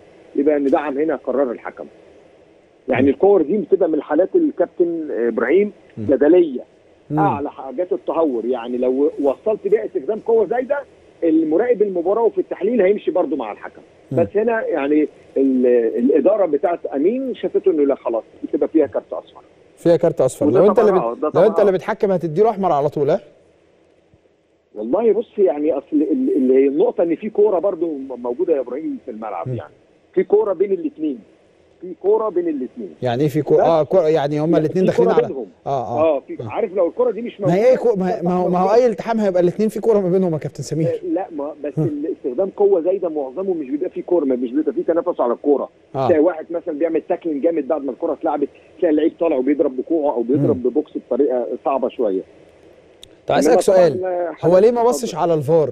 أو الفار ما قالوش حاجة ما كلموش آه، فيه ممكن ممكن هنا يكون حكم الفي ار دعم مع القرار. دعم يعني مع بي- قرار بيقول له آه، بيقول له دي فيها مثلا آه، حالة طرد. مثلا. مم. لو قالوا دي فيها حالة طرد لازم أمين يطلع بقى. مم. يطلع يشوفها. لازم يطلع يشوفها لو قالوا فيها حالة طرد. أو حاجة تانية ممكن أمين يقول له لا الكورة ما فيهاش حاجة خالص. أو مم. لا دي تستحق الإنذار. إنما ما ينفعش يقول له دي ادي له إنذار. لا دي مش موجودة في البروتوكول. ياخد كام من 10 أمين النهارده؟ بص أنا الحالات اللي أنا شايفها أنا أنا اعذرني أنا ما اتفرجتش على المباراة كلها ماشي. بس بالحالات اللي أنا شايفها الحالات الصعبة دي. ما يقلش عن تسعة من عشرة طبعا في المباراة يعني. 9 من 10 صحيح. كابتن سمير أنا بشكرك شكرا جزيلا ومسائك زي الورد. بشكرك شكرا جزيلا. طيب كابتن سمير عثمان طبعا بشكره وتعقيب مهم جدا جدا. طيب بناء على آه، يعني رغبته وتعقيبه على مباراة البيراميدز وأسوان اللي لسه كنا فاتحينها سواء على الحالات التحكيمية أو حتى كمان الكلام اللي كنا قلناه في بداية اللقاء. معانا المدير الفني المحترم الكابتن أحمد كشري. كابتن كشري مساء الفل. والله وهارد لك يعني يعني مباراة أكيد كبيرة النهارده بتلعبها قدام بيراميدز. الله يخليك يا إبراهيم. ربنا يخليك. أنا طبعا يعني آه، شاكر ليك يعني المداخلة. و حقك طبعاً، والأمانة يعني آه، أنا زعلت من المباراة النهارده لأن ما نخسرش والله. ما نخسر. لأن 81 دقيقة إحنا عاملين جيم تكتيكي عالي جدا. يمكن أنت لو شفت المباراة ما فيش أي فرصة شفت شفت منها. شفت منها شفت منها ك- شفت آه منها يعني ما فيش فرصة علينا خطرة 81 دقيقة قبل ما يجي فينا الجون إحنا لينا ثلاث فرص انفرادات ودي ضربه جزاء اهي قدامك آه، يعني الكابتن سمير عثمان هو اللي قال هو أنا لسه شايفها حالا. آه في من خلال ما. كنتش تعرف إن هي ضربه جزاء؟ لا في الملعب شايفها شايفها انت في الملعب اللعيب آه بس لما الحكم قال إن هي مش ضربه جزاء مم. قلت في فار لكن اللعيب إيده بره رجب بكار إيده بره جسمه خالص. وده هدف أكيد مؤ- مؤكد ولعيب متعمد. يعني آه، معلش دي كانت فرقت معايا كان 1-0 ليا. يعني. كانت النتيجة هتبقى 2-0 كانت 2-0 ليك آه ده انت بتلعب انت بتلعب آه، بيراميدز يعني ده انت بتلعب الوحوش أنا ما أنا آه. مستغرب برضه يعني. عايز أقول لك حاجة يعني إحنا 81 دقيقة. عاملين جيم عالي جدا الحمد لله اللعيبة بتاعتي عاملة جيم كويس قوي قوي غيرت تغييرات النهارده هجومية رغم إن أنا كان عندي لعيبة زي فادي فريد. كان موجود في الملعب وراجع من اصابه كان لازم أغيره عشان ما يتعورش لأنه راجع من إصابة عضلية. إبراهيم جلال اشتكى عامل مجهود عالي فغيرت اللعيبة دي ودفعت بمين بمصطفى البدري وكريم الطيب وطبعا الاثنين يعني من حديث الفترة الأخيرة المباريات الأخيرة مم. في مباراه الأهلي والمباراة وهدافين فأنا حطيت لعيبة مهاجمين آه عملنا جيم كويس جدا وصلنا للجول ثلاث. فرص لو عندك اخر آخر 10 دقائق إحنا ثلاث فرص انفرادات واحدة. ضاعت من محمد رزق واحدة من كريم الطيب. واحدة من مصطفى البدري زائد ضربة الجزاء اللي, اللي ظهرت. من خلال برنامجك هنا وأكد عليها الكابتن سمير عثمان فمن حقي إن أنا أتضايق. من حقي إن أنا أزعل لما. أكون بلاعب بيراميدز اللي بيكسب الأهلي والزمالك بيراميدز الفريق اللي أغنى فريق تاريخ في مصر. لا وأقدم المباراة دي وبالشكل ده لا أزعل لما اتخطف في آخر الماتش. آه فعلا اخطاء لكن أنا لو كانت حسب ضربة الجزاء دي كنت كسبت المباراة. يعني هل هتقدم آه، التماس هل هتقدم التماس يا كابتن آه،. مجلس الإدارة يعني آه، أكيد لأن إحنا قبل كده حصل موقف وما بنتكلمش إحنا الناس. بتوع أسوان ناس محترمة جدا وبنحب إن الأمور تمشي بس لا وما يجراش حاجة ما إيه اللي بيتنافى مع الاحترام؟ وإن أنا أقدم التماس آه. أنا لسه كان معايا دلوقتي الأستاذ وليد العطار قال لك آه، أي نادي بيشتكي من أي حاجة يقدم التماسات عندنا آه، دايما بنسمع ودايما بنشوف. ما انت أنت برضو ال- ال- الكره اللي حضرتك بتتكلم فيها ديت أعتقد هو لو كان رجع فيها لل- للفار آه، كان آه، ما أنا ما أعرفش برضو إذا كان الفار ممكن يكون سنده في القرار الله أعلم ممكن يكون كلمه في في السماعات. إحنا برضو في حاجات ما بنعرفهاش يعني. يعني يا كابتن إبراهيم انت. شايفها إيه والكابتن سمير عثمان والله يعني بص أنا هقول لك على حاجة بالسنس كده آه بالسنس. كده يا ضربة جزاء بصراحة أنا بالسنس شايفها في الملعب حتى آه. انت لو جبت الصورة عليا أنا كنت منفعل جدا بقول له والله العظيم آه. ضربة جزاء الكرة رايحه في اتجاه الجول مم. لعيب حط ايده. هو هو أنا عشان خدت ضربة جزاء اكيده الأولانية ما أخدش الثانية الأكيدة. ما أنا آه، الناس برضو أنا ما بطلعش أتكلم على التحكيم ما أقدرش أتكلم عشان ما يقولوش ده بيتكلم ويوقفوا. لكن أنت النهارده أهو. أهو الراجل الكابتن سمير عثمان يعني ما, ما أنا أروح إيه ولا أجي إيه في الكابتن سمير عثمان؟ أهو بيأكد إن هي ضربة جزاء. طب. اديني حقي. ويخرج الحكم يبقى متضايق إن إحنا واقفين منفعلين على الخط. طب ما أنا مجهودي وتعبي طول الموسم. أنت بتضيعه لي ولا صحيح لما الفرقة لا قدر الله نزلت مش هيقولوا الحكم الفلاني نزل فرقة هيقولوا المدرب بتاعها نزل الفرقة. فأنا بقى من حقي إن أنا أبقى واقف على الخط. عايز حقي فقط لا غير. أنا ما صحيح. بحاجة. طيب آه، آه، آه، فرصة هو دلوقتي ادينا على الهواء أتمنى إن أنتوا تقدموا التماس علشان خاطر على الأقل تحفظوا حقوقكم فيما هو قادم. يبقى عندكم رؤية برضو الناس بتتقبل ده إلى حد كبير لأنه في النهاية دي أخطاء والأخطاء وارد إن يتم علاجها. بشكرك شكرا جزيلا يا كابتن كشري وبحييك حقيقة على المباراة وبحييك على الأداء الفني وما تخليش حاجة يعني تضايقك أو تزعلك لأن أنت ماشي بشكل كويس جدا جدا مع فرقة محترمة. على جانب آخر أنا معايا على التليفون دكتور محمد أسامة رئيس الجهاز الطبي بنادي الزمالك. يا دكتور محمد أهلا وسهلا بحضرتك ومساء الفل. مساء الفل يا فندم ازي حضرتك؟ أخبار حضرتك يا فندم طمنا عليك وعلى صحتك وعلى أحوالك. الحمد لله والله كله تمام. يا رب دايما في أفضل صحة وحال. طيب آه بسأل حضرتك آه ما هو رأيك آه في آه قصة تغيير البروتوكول إلى ال rapid test؟ حسبما علمت إنه آه هناك خطاب أرسل من نادي ال- الزمالك بيرفض فيه آه العمل بال rapid test وأن يكون العمل وفقا للبروتوكول الطبي القديم المتبع اللي هو ال PCR. حضرتك قول لي صحة الأمر من من عدمه وفهمنا وجهة النظر الطبية ماشية إزاي في هذه الجزئية. OK هو بس سؤال حضرتك ليه جزئين اتفضل الجزء الأول بالنسبة اللي يخص النادي ومستر مرتضى ومستر أمير والجواب اللي إحنا بعتناه. هو طبعا كالعادة هم سألوني عن رأيي بعد ما جالنا ال- الجواب بتاع إن إحنا هنبدل ال PCR م. لل rapid test فهو سألوني عن رأيي فأنا قلت لهم رأيي اللي أنا هوضحه في الجزء الثاني. وليه إحنا بنقول لأ. لأن إحنا اتفق إحنا لما قلنا رجعنا وحضرتك فاكر أنا كنت دخلت مع حضرتك وقلت إحنا لينا تحفظات كتير. والموضوع صعب مش تحفظات هو إحنا عايزين في الآخر الأمان لينا كلنا. ففي شوية حاجات صعبة. ووافقنا إن إحنا نرجع بناء على الحاجات الصعبة دي إن إحنا نحاول نحلها ونمشي واحدة واحدة. رغم الظروف الغير عادية. والنهاردة هبقى specific أو مت- أو محدد جدا في حتة ال- الكورونا بعيد عن الإصابات والكلام ده الإصابات العضلية يعني. ففي حاجات صعبة جدا. منها كان موضوع ال PCR أو المسحة دي. إن إحنا هنعملها عشان خاطر نطمن. مش هنطمن بنسبة عالية بس يعني اللي هو أقل حاجة من الاطمئنان. تمام؟ علشان خاطر نقدر إن إحنا نجو اون ونكمل ال- الدنيا المضغوطة دي زي ما قلت لحضرتك إحنا عندنا نسبة exposure على نسبة تعرض عالية. مم. أنا كل يومين يعني أنا كنت بلعب الخميس وهلعب بكرة يعني أنا بتجمع يعني بخش معسكر يعني بتعرض ل... ل... ل... بخرج في... في ميديا واسعه جدا. فممكن تحصل أي مشاكل من أي اتجاه.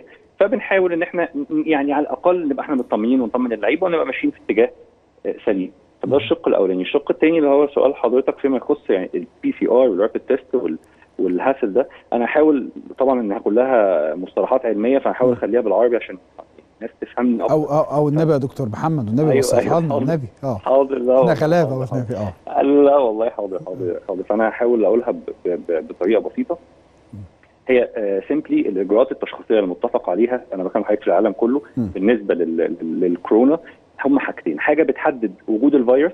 أو بتحدد وجود ال- ال- البروتين أو ال- ال- الفيروس الموجود في الدم أو حاجة اسمها بتحدد الأجسام المضادة اللي الجسم كونها لل- للفيروس. تمام. تمام؟ اللي بيحدد وجود الفيروس في الدم هو حاجة اسمها ال PCR أو اللي إحنا عارفين اسمه المسح. تمام؟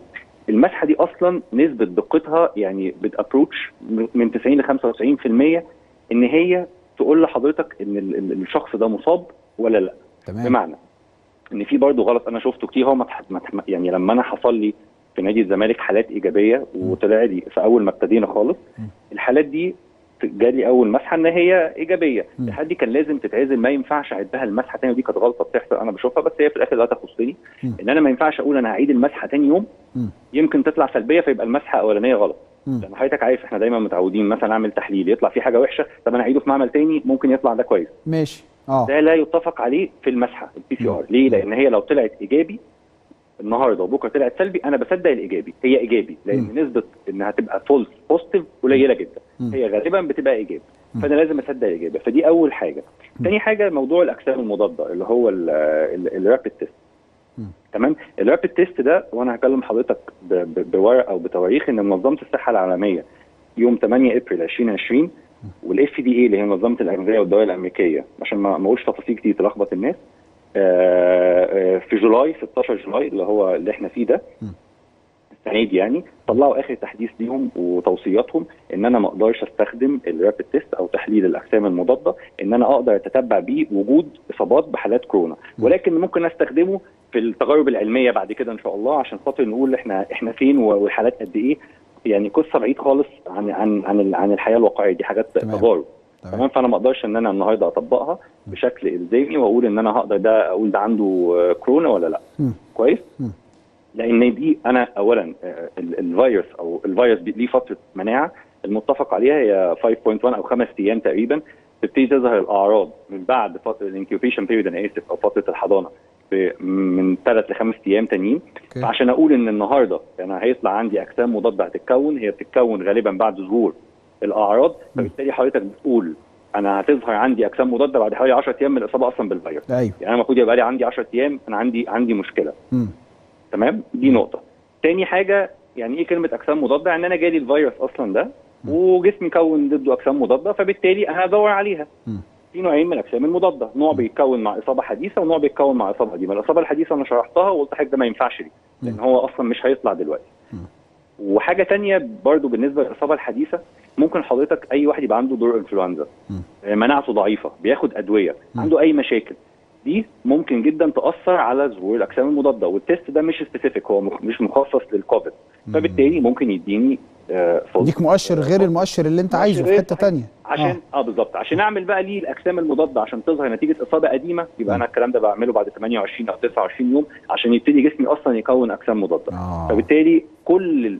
وأنا بقول لحضرتك بالتواريخ ال WHO اللي هي منظمه الصحه العالميه ال FDA منظمه الاغذيه والدواء الأمريكية كل الحاجات دي موجودة بتواريخها وكلها موجودة أي حد يقدر يدور عليها. طب يا دكتور محمد الكلام اللي حضرتك بتقوله ده وحضرتك آه، دكتور متخصص واضح إن أنت مش متخصص وبس أنت متخصص ومطلع على آخر التفاصيل اللي ليها علاقة سواء بالتحاليل أو بالفيروس نفسه أو مستجدات ال- الأمور ديت.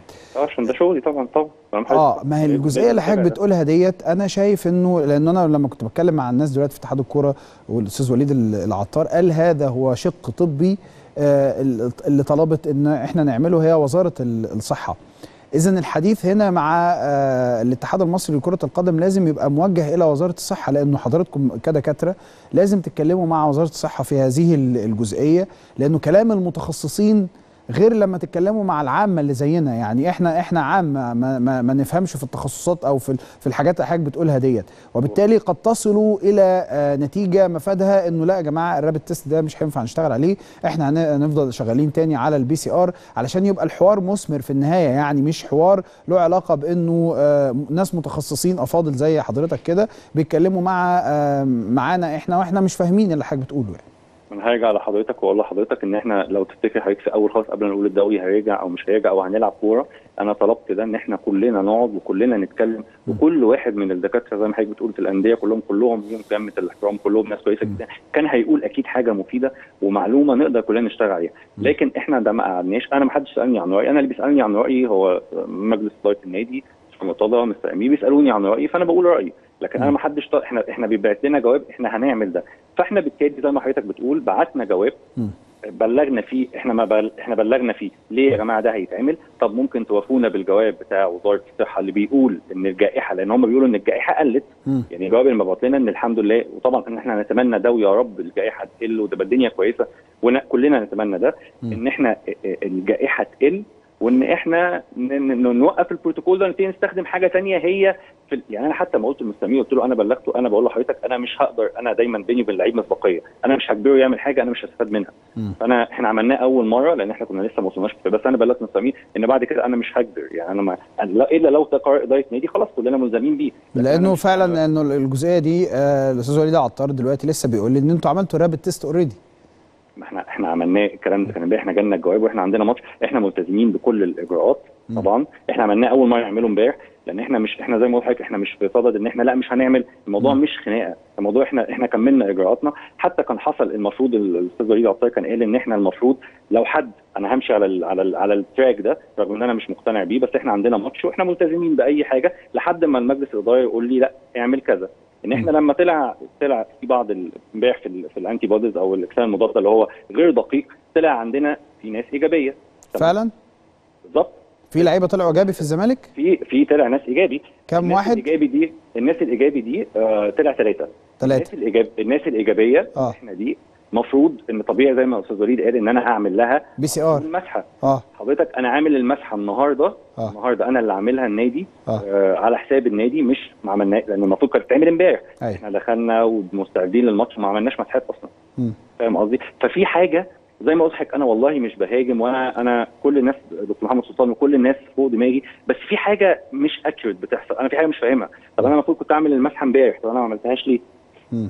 على البروتوكول الجديد على. البروتوكول الجديد اللي تعمل على البروتوكول الجديد حضرتك كنت المفروض تعمل مسحة ال PCR على الثلاثه اللي طلعوا إيجابي أنا ما عملتهاش ما عملتهاش. عملتها النهارده على حسابي عملتها النهارده على حسابك طب نتيجتها طلعت إيه؟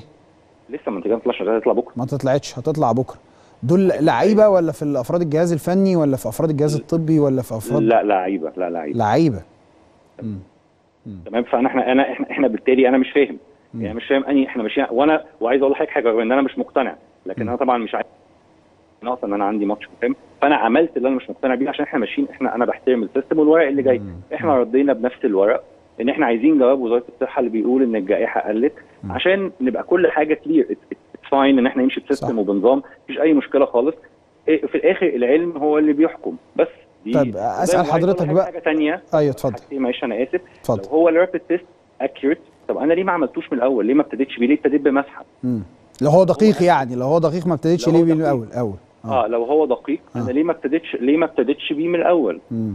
ليه لغاية النهارده أنا بكلم حضرتك في مستشفيات آه ال- ال- كل مستشفيات العزل والحميات و... وأي حد بيستقبل حالات أو لو اوليه بيشتغل على ال PCR. الكلام ده أنا متأكد منه لأن أنا كل الدكاترة زمايلي أنا ك... أنا رجعتهم كلهم. ما حدش بيستخدم ال rapid test كله. بيستخدم PCR. فيبقى بالتالي في حاجة في حاجة مش مظبوطة. إحنا رجعنا الدوري ببروتوكول تمام؟ وأنا كنتش مقتنع بيه قلت لحضرتك بس إحنا لازم إحنا إحنا في الآخر إحنا ماشيين أنا ما عنديش أي مشكلة في حاجة. وبعدين دلوقتي إحنا غيرناه. تمام؟ حتى المستشار مرتضى قال لي ان إحنا هنعمل أو إحنا ما عندوش مانع ان إحنا نعمل حتى إحنا نكمل المسحات إحنا بس يعني إحنا نكملها وعشان إحنا نطمن. أنا يبقى عندي مشكلة تانية وأنا قلتها ل- ل- لمستر امين مرتضى طب ما أنا هلاعب فرق تانية آه، هم مش عاملين. وأنا حضرتك عارف أنا داخل على افريقيا. فانا لو آه. قعدت كده لحد افريقيا وهفاجئ الاتحاد الافريقي هيجي يعمل لي كشف لا قدر الله يطلع عندي حالات آه، مستخبية. يبقى إحنا بالظبط يبقى أنا يبقى أنا عملت إيه؟ طب أسأل حضرتك سؤال. آه. طيب معظم في السن الصغير آه. اللي هو ال immunity بتاعتنا بتبقى كويسة وبالتالي ما بيظهرش أعراض والحمد لله وده قرار من ربنا يعني. بس هي positive هي إيجابية فلو إيجابي هيتعزل.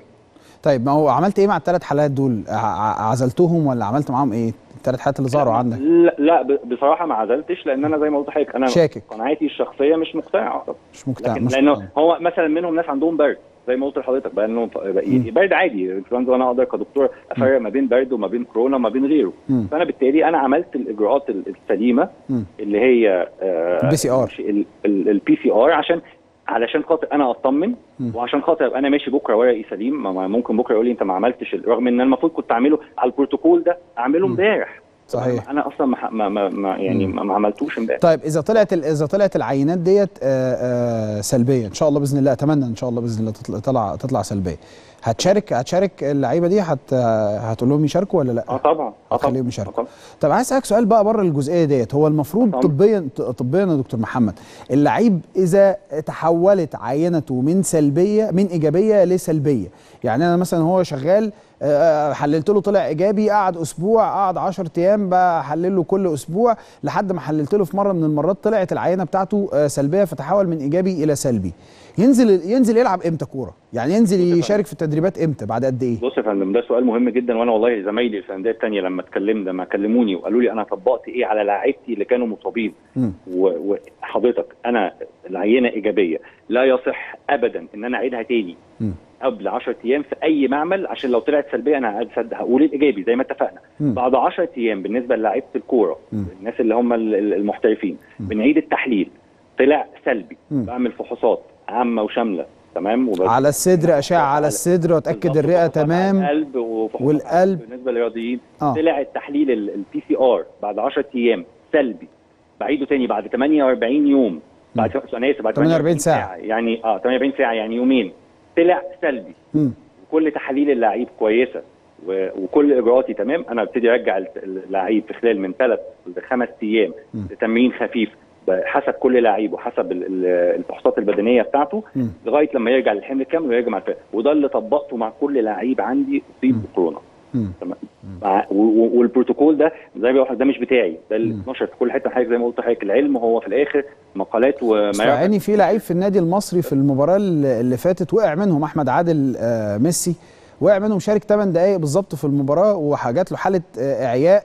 فلما سألت الكابتن طارق العشري قال لي ده كان متحول من إيجابي لسلبي وقبلها بيوم ما نزل تدريب يوم ومعاه في الماتش النهارده كل ف- كل بص مع احترامي طبعا لكل الناس آه، إبراهيم. فتوقعت إنه ممكن اللعيبة- يبقى الحتة دي محتاجة تركيز أكتر م- أنا أنا أنا آه. قلتها لحضرتك كل المقالات العلمية كل ال 12 وإحنا ماشيين دايما بنرجع للمقالات لأن الناس بيطلعوا المقالات العلمية دي بناء على تجارب هم أيوة. لما عملوا كل الحاجات البروتوكولات ده البروتوكول المتبع لأي لعيب في العالم جاله كورونا أو جاله كوفيد ده البروتوكول المتبع. يبقى البروتوكول إن. هو أول لما بيتصاب وتطلع العينة بتاعته إيجابية نقعد 10 أيام نعمل له العينة آه، نسحب منه عينة طلعت ال PCR بتاعته إن هي آه، سلبية من 3 ل 5 أيام تدريبات خفيفة بعد ما نكون عملت له الفحوصات الطبيه اللي ليها علاقة بالاطمئنان على الرئة والقلب والأمور اللي زي كده. بعدين بعد الخمس أيام آه، هو تمام يبدأ يشارك في المباراة. ده إحنا بنتكلم في بتاع حوالي 15 يوم علشان يحط رجله تاني في مباراة من المباريات. مظبوط كده مش أقل من كده مش أقل من كده. وأنا بقول لحضرتك لو أي لعيب عندي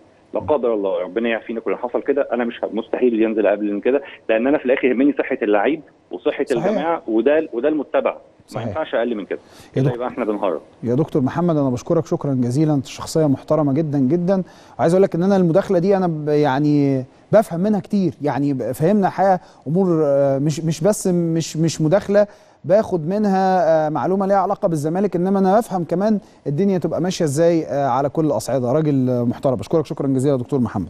دكتور محمد آه، أسامة رئيس الجهاز الطبي لنادي الزمالك. أنا طيب فاصل سريع جدا جدا لأن عندي Skype. آه عن آه فاصل صريح؟ فاصل صريح. فاصل صريح ولا فاصل سريع؟ شوفوا أنتوا عايزين إيه؟ ها آخر كلام. okay روح لفاصل وبعد الفاصل لسه موجودين مع حضراتكم. وعندنا حوار مهم جدا جدا. بصوا بقى القصة بتاعت ميسي وبرشلونة وبتاع.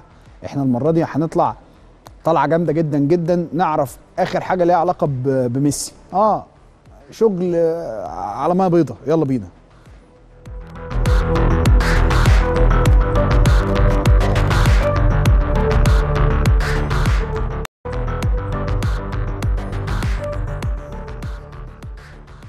بجد ترحيب بحضراتكم في الجزء الثاني ومشرفنا ومنورنا في الجزء الثاني نجومنا نجوم ال- التحليل اللي دايما بيسعدونا ويبسطونا سواء بالرؤى الفنية في التحليل للكرة الأوروبية أو حتى كمان للكرة المحلية. جانب كده محلي آه، برضو في شغل آه، جامد جدا. خلونا نرحب بالأساتذة والنجوم اللي مشرفينا أستاذ أحمد عزة وسهلا بك يا فندم. مساء الفل. أخبار معاك يا فندم؟ آه والله الجو منعش وجميل. كل ما تفتح الإنترنت تلاقي خبر لميسي ده ميسي مش جاي بكرة التمرينة ده ميسي مش ع... ف حلو ربنا يكتر من بالطول أخباركم. بالعرض خلاص بالطول بالعرض يا عم الله يوسع عليكم. أنا كان كل أمنيتي في الحياة دوريين ورا بعض لا يعني ده. كل اللي أنا نفسي فيه فربنا يكرم إن شاء الله. طول ادينا بالعرض. بن... بنقول يا رب. أستاذ عمر عبد الله منور الدنيا يا أستاذ عمر. أخبار معاك إيه؟ لك وحشة. الحمد لله. ربنا يخليك أنتوا وحشنا جدا والله. بس والله لسه ما اتغيرتش لسه برضه النظارة زي ما من غير إزازة. آه. أنا حاسس إن أنتوا اتنين فيك قوي شوف مين الوحيد اللي بيكلمني في الموضوع. آه. يعني مش عارف أقول إيه بس أنا. أول واحد بديت الفرة دي. آه ده حقيقي. فرة النظاره من غير عدسات. نفسي والله أعملها الموضوع ده. نشوف تعمل القصة. عملية ربنا بقى. وتشوف يا؟ مساء عشان أشوف والله نفسي. استجماتيزم ها؟ آه عشان الواحد بس عينه مقاقد في حاجة الماتشات. أبشع حاجة في الموضوع بس يا حياتك هتتغير حاجة. والله هتشوف كويس. وده موضوع الاستجماتيزم ده بيجي بيخلي الواحد أنا كانت أمتع حاجة. وإحنا بنحكي في إيه دلوقتي؟ مش عارف يعني نروح للتقرير يلا ولا بينا إيه؟ يلا بينا. التقرير نتكلم. يلا بينا. كلام على ليونيل ميسي و- وحالة الانقلاب اللي حصلت والتحول في كل ال- الاتجاهات. ميسي في الفترة اللي جدد فيها تعاقده وميسي الآن وهو ده هيكون محور آه، حديثنا. ومن بعد الحديث عن آه، ميسي هنتكلم بقى النهاردة في آه، كأس الدرع الخيرية وفوز أرسنال. الدنيا تمام وزي الفل طول ما ميسي مش موجود. آه، إنت عارف ال- الفكرة بالنسبة لي الرئيسية يا ريتهم يشغلوا الصور على طول بتاعت ميسي عشان يلا. الناس كلها بتتكلم في القضية. أنا حابب إن إحنا النهارده برضو نبقى بندي للناس آه، جزء من ال- المعلومات يعني الرأي معاه معلومات.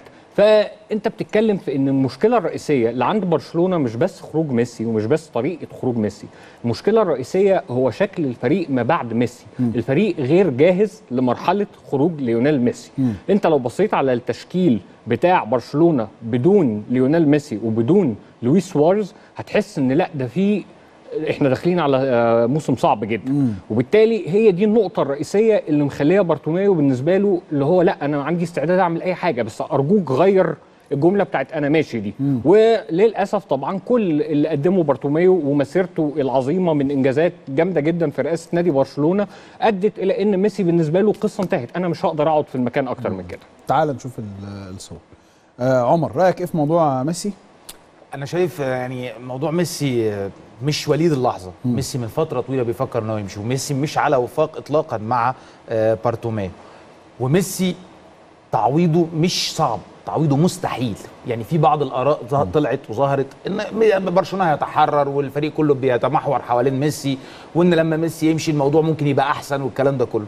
جميل الكلام ده لما بيتقال آه ما ماشي بس مش على حد بقيمة وقدر آه، ميسي آه. يعني ممكن تقولوا حتى على اللعيبة العادية بقى اللي اللعيبة ما يعني ما مثلاً- على حد بتاع بالظبط مثلا. السويد السويد من غير إبراهيموفيتش كان في كلام في كأس العالم 2018 إن هو هيرجع بتاع مدرب السويد طلع قال. اللعيبة آه اللعيبة كويسة وأنا وصلت بالمجموعة دي ولعبت وفعلا الفريق قدم أداء جيد جدا صحيح، من لأن غيره. إبراهيموفيتش لعيب كبير لكن مش مش ليونيل ميسي فميسي خروجه هو انهيار لبرشلونة أنا بشوف الموضوع من زاوية قد تكون فانتازية.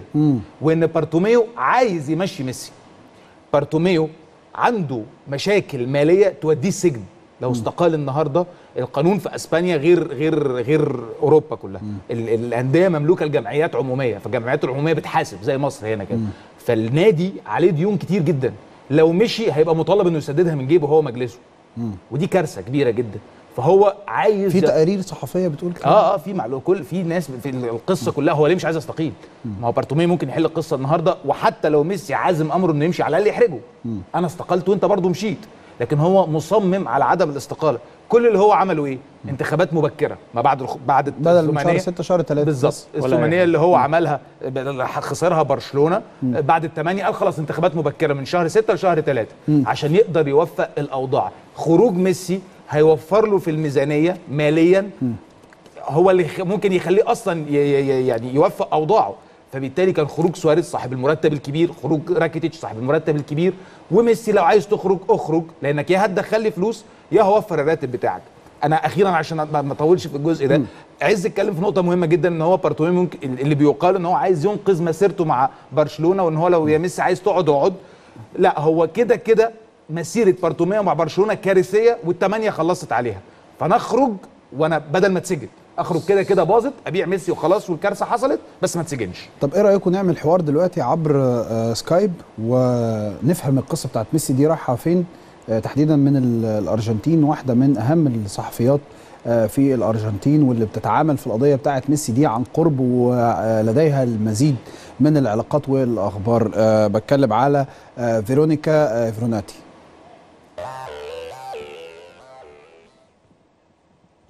فيرونيكا أهلا وسهلا بيكي بنرحب بيكي وسعداء بوجودك معانا آه، عبر شاشة اون تايم سبورتس 2 برنامج جمهور الثالثه أهلا وسهلا بيكي.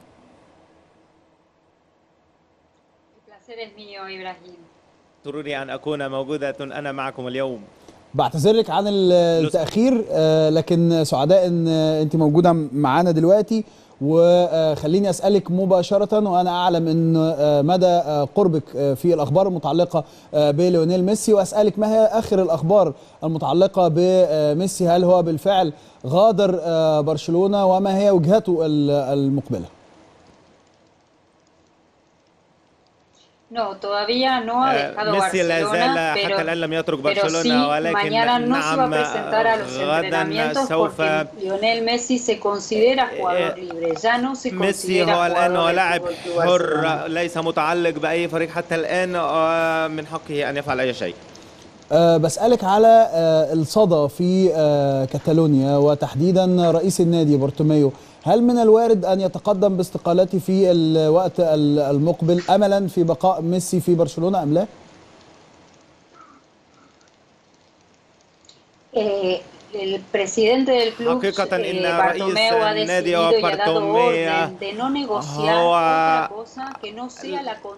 هو المسؤول الوحيد ويعرف أن ميسي حر ويتفاوض مع من يريد لأنه حر لأن ميسي لديه الحق. وليس هو من يقول ولكن المحامين هم يقولون أن العقد الحالي ليونيل ميسي ليس لديه أي شرط جزائي طول هذه الفترة التي سوف تنتهي في 2021 أنه يتحرك بكل حرية دون أدنى شروط ودون دفع أي شروط. وأؤكد مرة أخرى أن ميسي هو لاعب حر وليس لديه أي شروط جزائية ليدفعها وبالتالي هو الآن من حقه أن ينضم إلى أي نادي من الأندية وإن كان هناك بعض الممثلين القانونيين لنادي برشلونة يؤكدوا أن آه، لبرشلونة الحق آه، في آه، عقد ميسي حتى الآن بسبب التعاقد اللي فيه شرط جزائي يصل إلى 700 مليون يورو.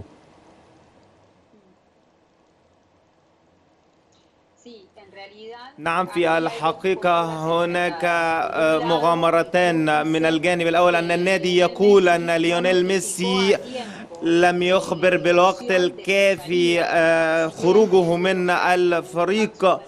هذه هي المغامرة التي يقولها النادي ويقول أنه أرسل وأخذ قرارا مفاجئا ولكن محامين ميسي يؤكدون ويقولون أن ميسي طبقا لعقده هو حر ومن حقه أن يرحل أو يبقى في أي وقت دون دفع أي شرط جزائي في أي وقت كما كما يؤكد وكما يقول العقد الذي وقعه ليونيل ميسي وفي آخر جولة لميسي في العقد الذي وقعه مع برشلونة وهي الموقعة في عام 2020 و2021 هي صالحة بالنسبة لميسي لأنه بدون أي شرط جزائي.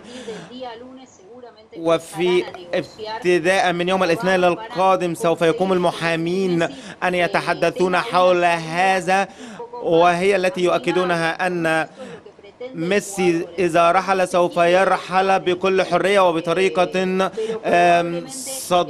صديقية وبطريقة ودية ليست دون أي مشاكل. ولكن المؤكد الآن أن ميسي الآن ليس لديه أي شرط جزائي ليدفعه ومن حقه أن يرحل أو يبقى فهو قراره الوحيد هو الوحيد الذي يستطيع أن يتخذه. وده يخليني أسألك من خلال قربك في التعامل في هذه القضية وأيضا أن هو أن ليونيل ميسي آه، سوف يوقع مع مانشستر سيتي آه، لقد تحدث مع جوارديولا كثيرا وتواصل معه وتواصل مع رئيس النادي وما يحدث. هناك علاقة بين مدير نادي مانشستر سيتي وبين ليونيل ميسي فلقد تحدثوا ولكن يريدون أن يخرج ميسي بدون أي خسائر وبدون أي مشكلات كما تعرف برشلونة نفسه يعرف أن ميسي هو أفضل لاعب في العالم هو الركيزة الأساسية. يعرف أن ميسي هو من صعد ببرشلونة إلى هذه الدرجات وإلى هذه المراتب التي وصل إليها فبالتالي الناس حزينة في كاتالونيا. طيب آه، يمكن انت آه، كتبتي على صفحتك على تويتر انه مانشستر سيتي وباريس سان جيرمان ممكن ما يقدروش يتحملوا آه، تكلفة شراء ميسي في ال- الصيف ده وانه الحل الوحيد انه يكون في صفقات تبادلية بدون مبلغ مالي كبير. طيب هيبقى الحل إزاي في هذه ال- الصفقات؟ أم أنه طالما إنه القصة تقتضي بإنه ميسي لاعب حر فلن يكون هناك أي صفقات وسيتم ال- الأمر بشكل مباشر. أنا اتابع معك المستجدات بكل شكل و- وارصد معك كل السيناريوهات يعني حقيقة في الحقيقة هو موضوع آه، يحتله الم- المحامين لأن برشلونة يعرف أن آه، ليونيل ميسي لديه عقد حر ونادي برشلونة يقول أن ميسي يجب أن يدفع الشرط الجزائي آه، رئيس النادي برشلونة أيضا في ذلك يعرف أن ميسي لديه الحق في الرحيل دون دفع أي شرط جزائي من 700 مليون يورو. وبالنسبة إلى ليونيل ميسي فإن التفكير جاء له في مانشستر سيتي طبقا للعديد من الأسباب وتحدث كما قلت مع مع المدرب وتحدث مع قائد النادي وبالتالي فإن ليونيل ميسي الآن يرى من وجهة نظره آه، وأنه حزن طبيعي بعد رحيل نيمار وبالتالي هما الاثنين ليونيل ميسي ونيمار هما من اللاعبين الكبيرين جدا جدا جدا. وبالتالي أؤكد مرة أخرى أن ليونيل ميسي حر يستطيع أن يرحل في أي وقت وأعتقد أنه سيرحل إلى مانشستر سيتي. آه، سمعنا آه، وفقا لبعض الت- التقارير إنه ميسي سيخرج للإعلام آه، قريبا. هل هو من سيخرج بنفسه للإدلاء بتصريحات؟ وإن كان ذلك فمتى سيكون موعده؟ أم ممثلي القانونيين هم من سيتحدثوا؟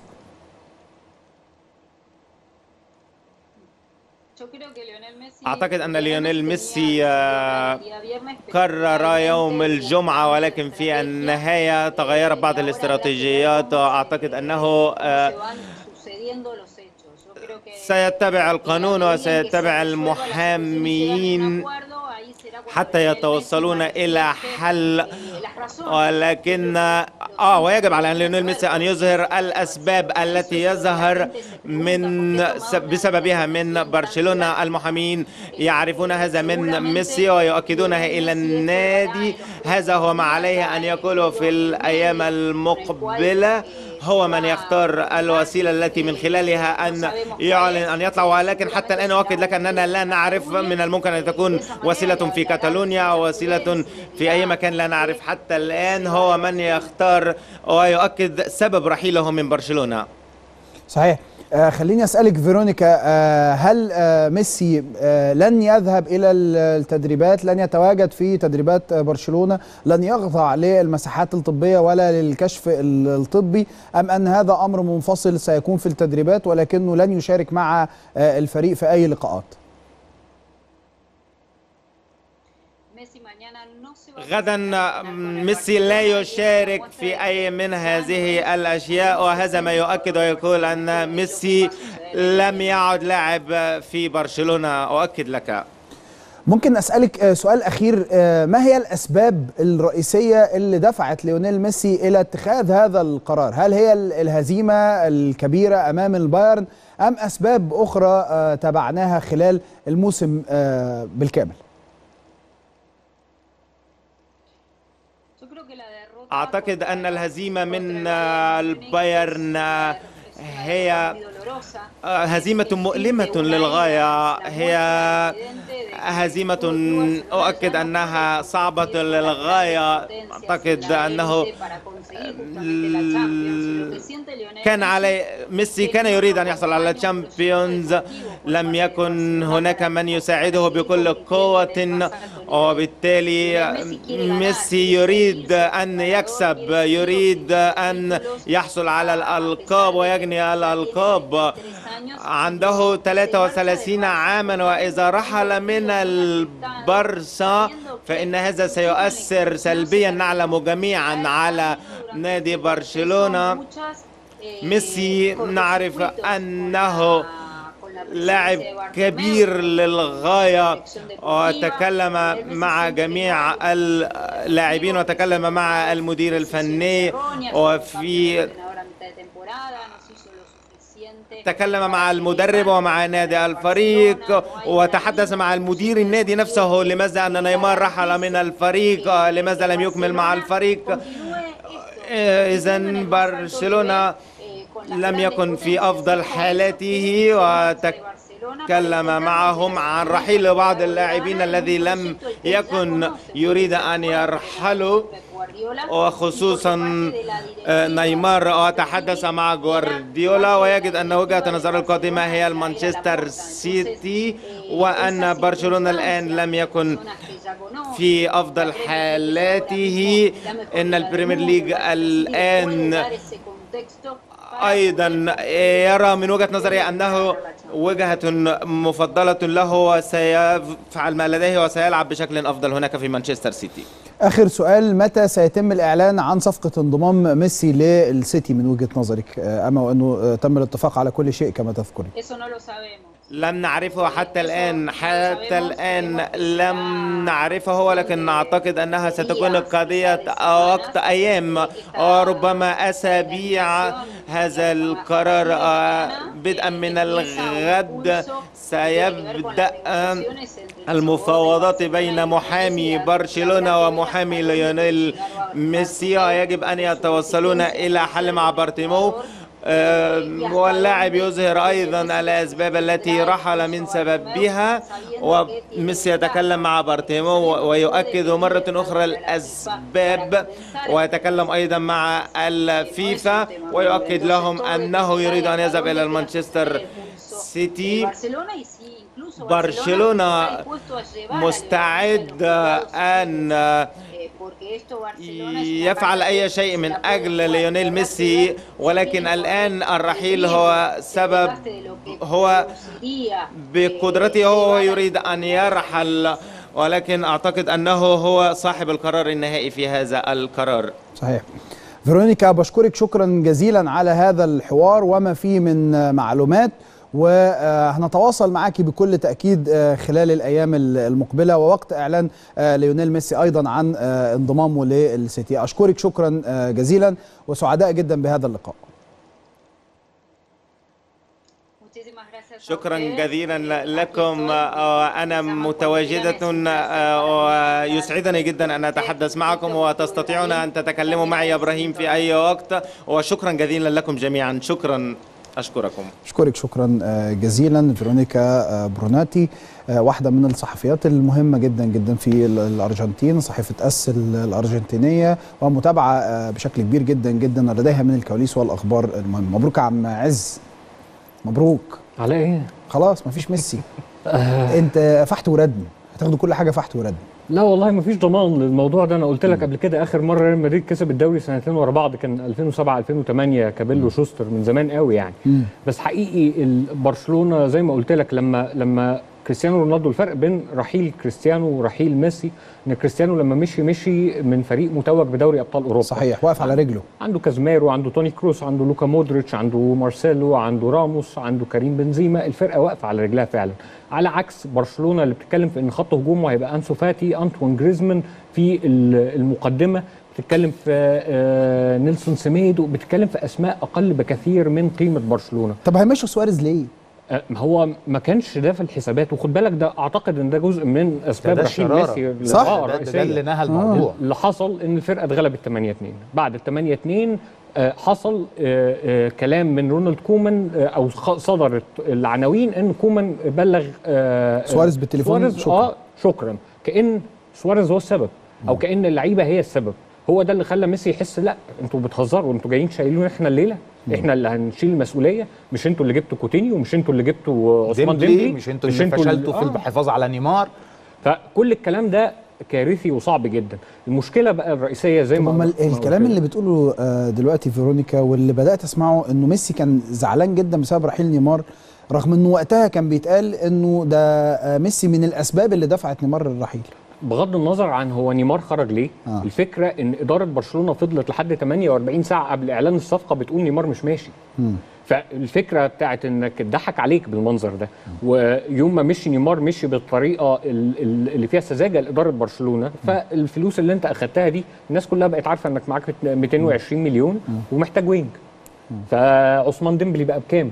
100 125 تقريبا ولا 100 ف- ما أعرفش. و- 160 دخل 160 160. آه وك- وكوتينيو 140 فأنت فخطأ إداري كارثي الأزمة بقى إن بقول لك لو قارنت الأرقام بتاعت برشلونة بميسي والأرقام بتاعت برشلونة دون ميسي في آخر موسمين آه. هتلاقي إن نسبة انتصارات برشلونة بتنزل 19% فبتتكلم في إن مفيش فريق. هو آه، فعلا مفيش فريق. هو مفيش فريق. وهو جزء كبير جدا جدا من إن ميسي يعني هو ال- اللي اتقال إن ميسي قبل مباراة بايرن ميونخ وقبل القصة دي كلها دخل في صدام كبير جدا مع بارتوميو لما قال له عايزين نقلل المرتبات مرة تانية. ميسي قال له جملة أنا بعتقد إن هي دي مفتاح كل شيء. قال له أنت راجل مراوغ أنا مش هتفاوض معاك على أي حاجة تانية. الجملة دي توضح ليه من أول ما مشي نيمار ميسي حاسس بالموضوع ده إن بارتوميو مش راجل صريح. لأنه راوغه زي ما زي ما عايز يتكلم بالظبط راوغه في إن نيمار قاعد وإن الفريق مش هيشيل آه، مش هيشيل قيمة كبيرة زي نيمار ومش هيقل لعيب زي ده راوغه في الأزمات اللي ما بينه وما بين أبيدال لما كان مدير أيوة. رياضي راوغه لما ظهر للشاش للشارع وللشاشة قد إيه الراجل ده بيأجر آه، لجان إلكترونية وشركات PR تشتم في اللعيبة على السوشيال ميديا بان قد إيه هو مراوغ في خصم المرتبات لما اللعيبة لما اللعيبة تفاوضت معاه وقالت له إحنا مش هنقلل 30% دفعة واحدة إحنا هنقلل دفعات معينة ولحتت معينة. ما رفضوش لكن هو طلع سرب عن طريق شركات ال PR دي إن اللعيبة رافضة إن هي تقلل مر- مرتبات. فكل ده تراكمات. كل ده تراكمات جت الثمانية بقى دمرتها. خلاص يعني. الاستغناء آه طبعا. خلاص يا والاستغناء عن سواريز ده حسسه إن هو ملوش كفايه نفوذ كفاية خلاص. كفاية أرجوك أصل ميسي كفاية. 8 دي مصيبة سوداء بس كفاية. أنا بالنسبة لي اداره آخد- برشلونة محتاج آخد فاصل و... يلا. ماشي. و... وأرجع نكمل نيمار. 8 8 8 اللي أنتوا فرحانين بيها دي. يلا بينا نروح لفاصل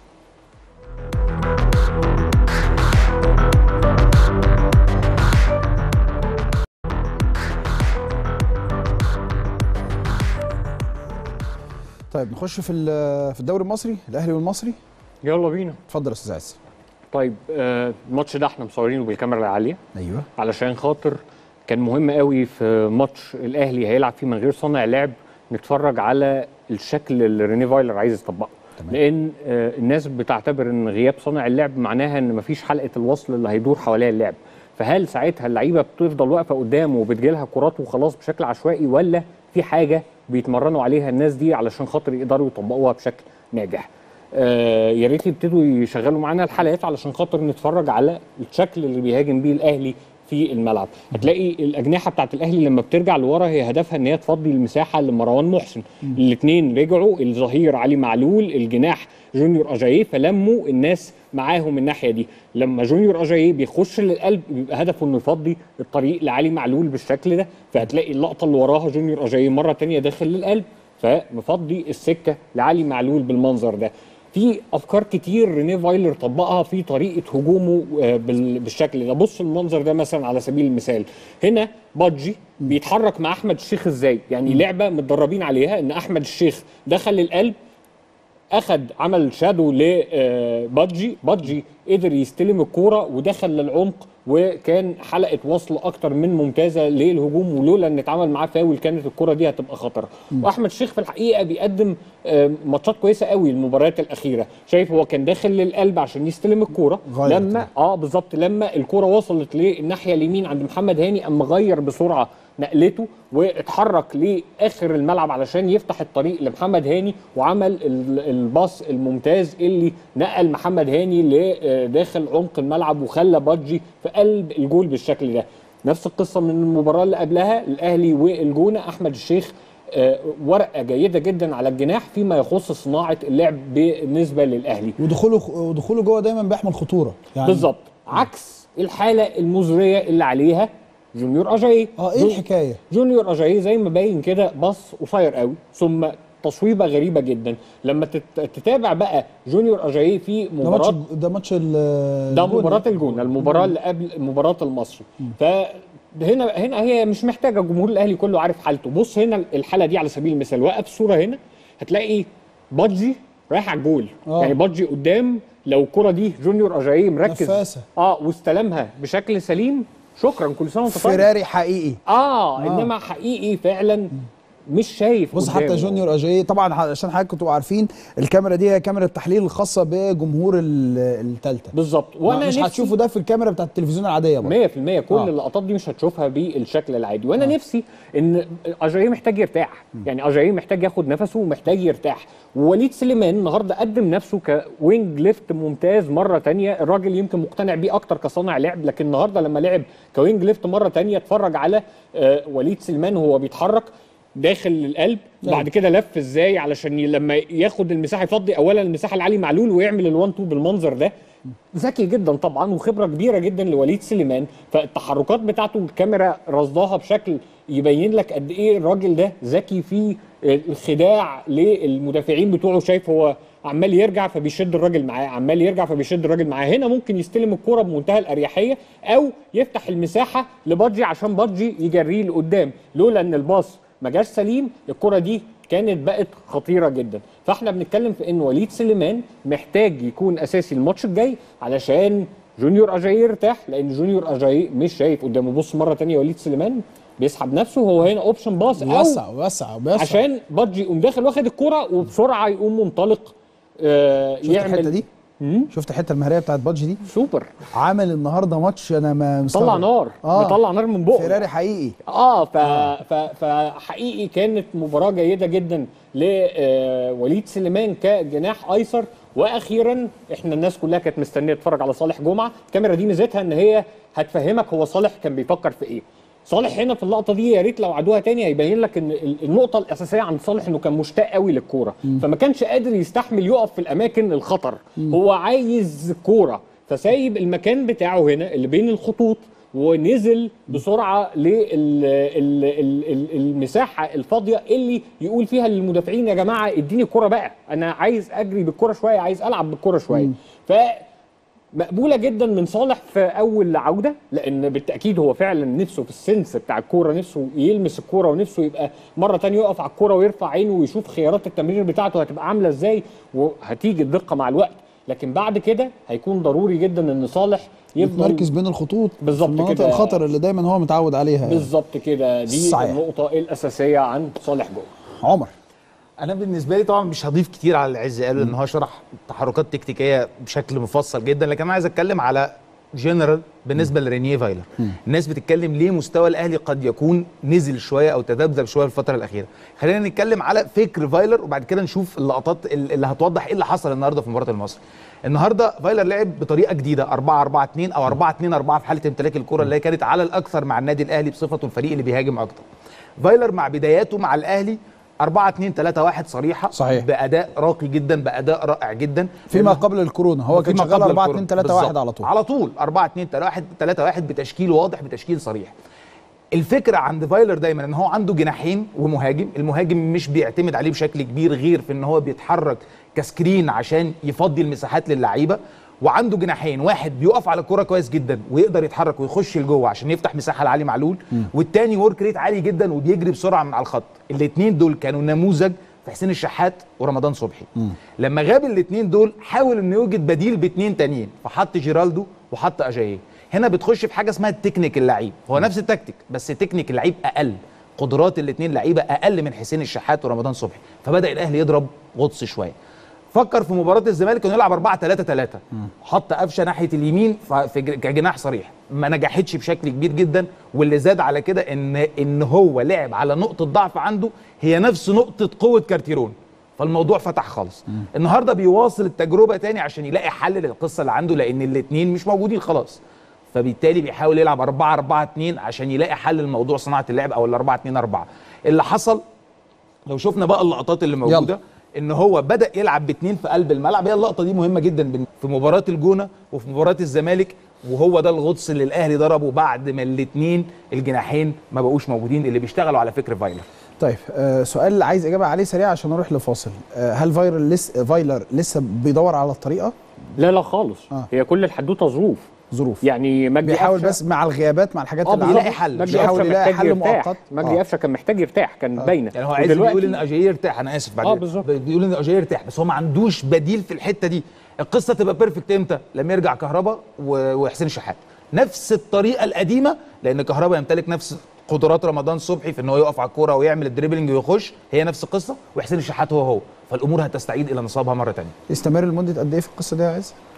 هي على حسب الظرف على الحلول. يعني النهارده بيريح مجدي قفشه أنا بعد كده بتمنى ان هو يريح جيرالدو آه يريح جونيور اجاييه اول ما الفرقه هتبتدي تجمع بقى المرحله بتاع الدوري ابطال افريقيا انت هتبقى محتاج زي ما عمر قال انك تشوف كهربا انك تشوف مجدي قفشه في مكانه انك تبتدي بقى تلعب بالطريقة اللي هتلعب بيها الافريقيه كهربا إزاي؟ مش ده سؤال مهم برضه؟ آه بالتاكيد طبعا لأن هيجهزه إزاي وهو ما بيلعبش في الدوري؟ هو هيبقى عنده عنده فترة قبل ال- قبل دوري أبطال؟ أفريقيا هيكون الإيقاف بتاعه انتهى يلحق يعني يلحق. أعتقد ماتش إيه. الإسماعيلي تقريبا ولا إيه؟ ممكن ممكن ممكن يرجع يلعب مباراة أو اتنين قبل قبل دوري أبطال أفريقيا صحيح طب أروح لفاصل وبعد الفاصل لسه متواصلين مع حضراتكم مع نجومنا اللي بيمتعونا النهارده عز وعمر يلا بينا في في المقاولين العرب وبالمناسبه عصام ده ركزوا فيه أنا قلت قبل كده لعيب هايل جدا اللي اخذ بطاقة حمراء ويمكن كان هو صاحب الهدف. عمر اتفضل. نفس القصة عايز أتكلم على فكر كارتيرون. السؤال إزاي تكسب الأهلي وتخسر من المقاولين مع كامل الاحترام في فرق ثلاث أيام. الفكرة في طريقة لعب كارتيرون. مم. كارتيرون دايما بيلعب على طريقة لعب إن هو دايما يكون رد الفعل.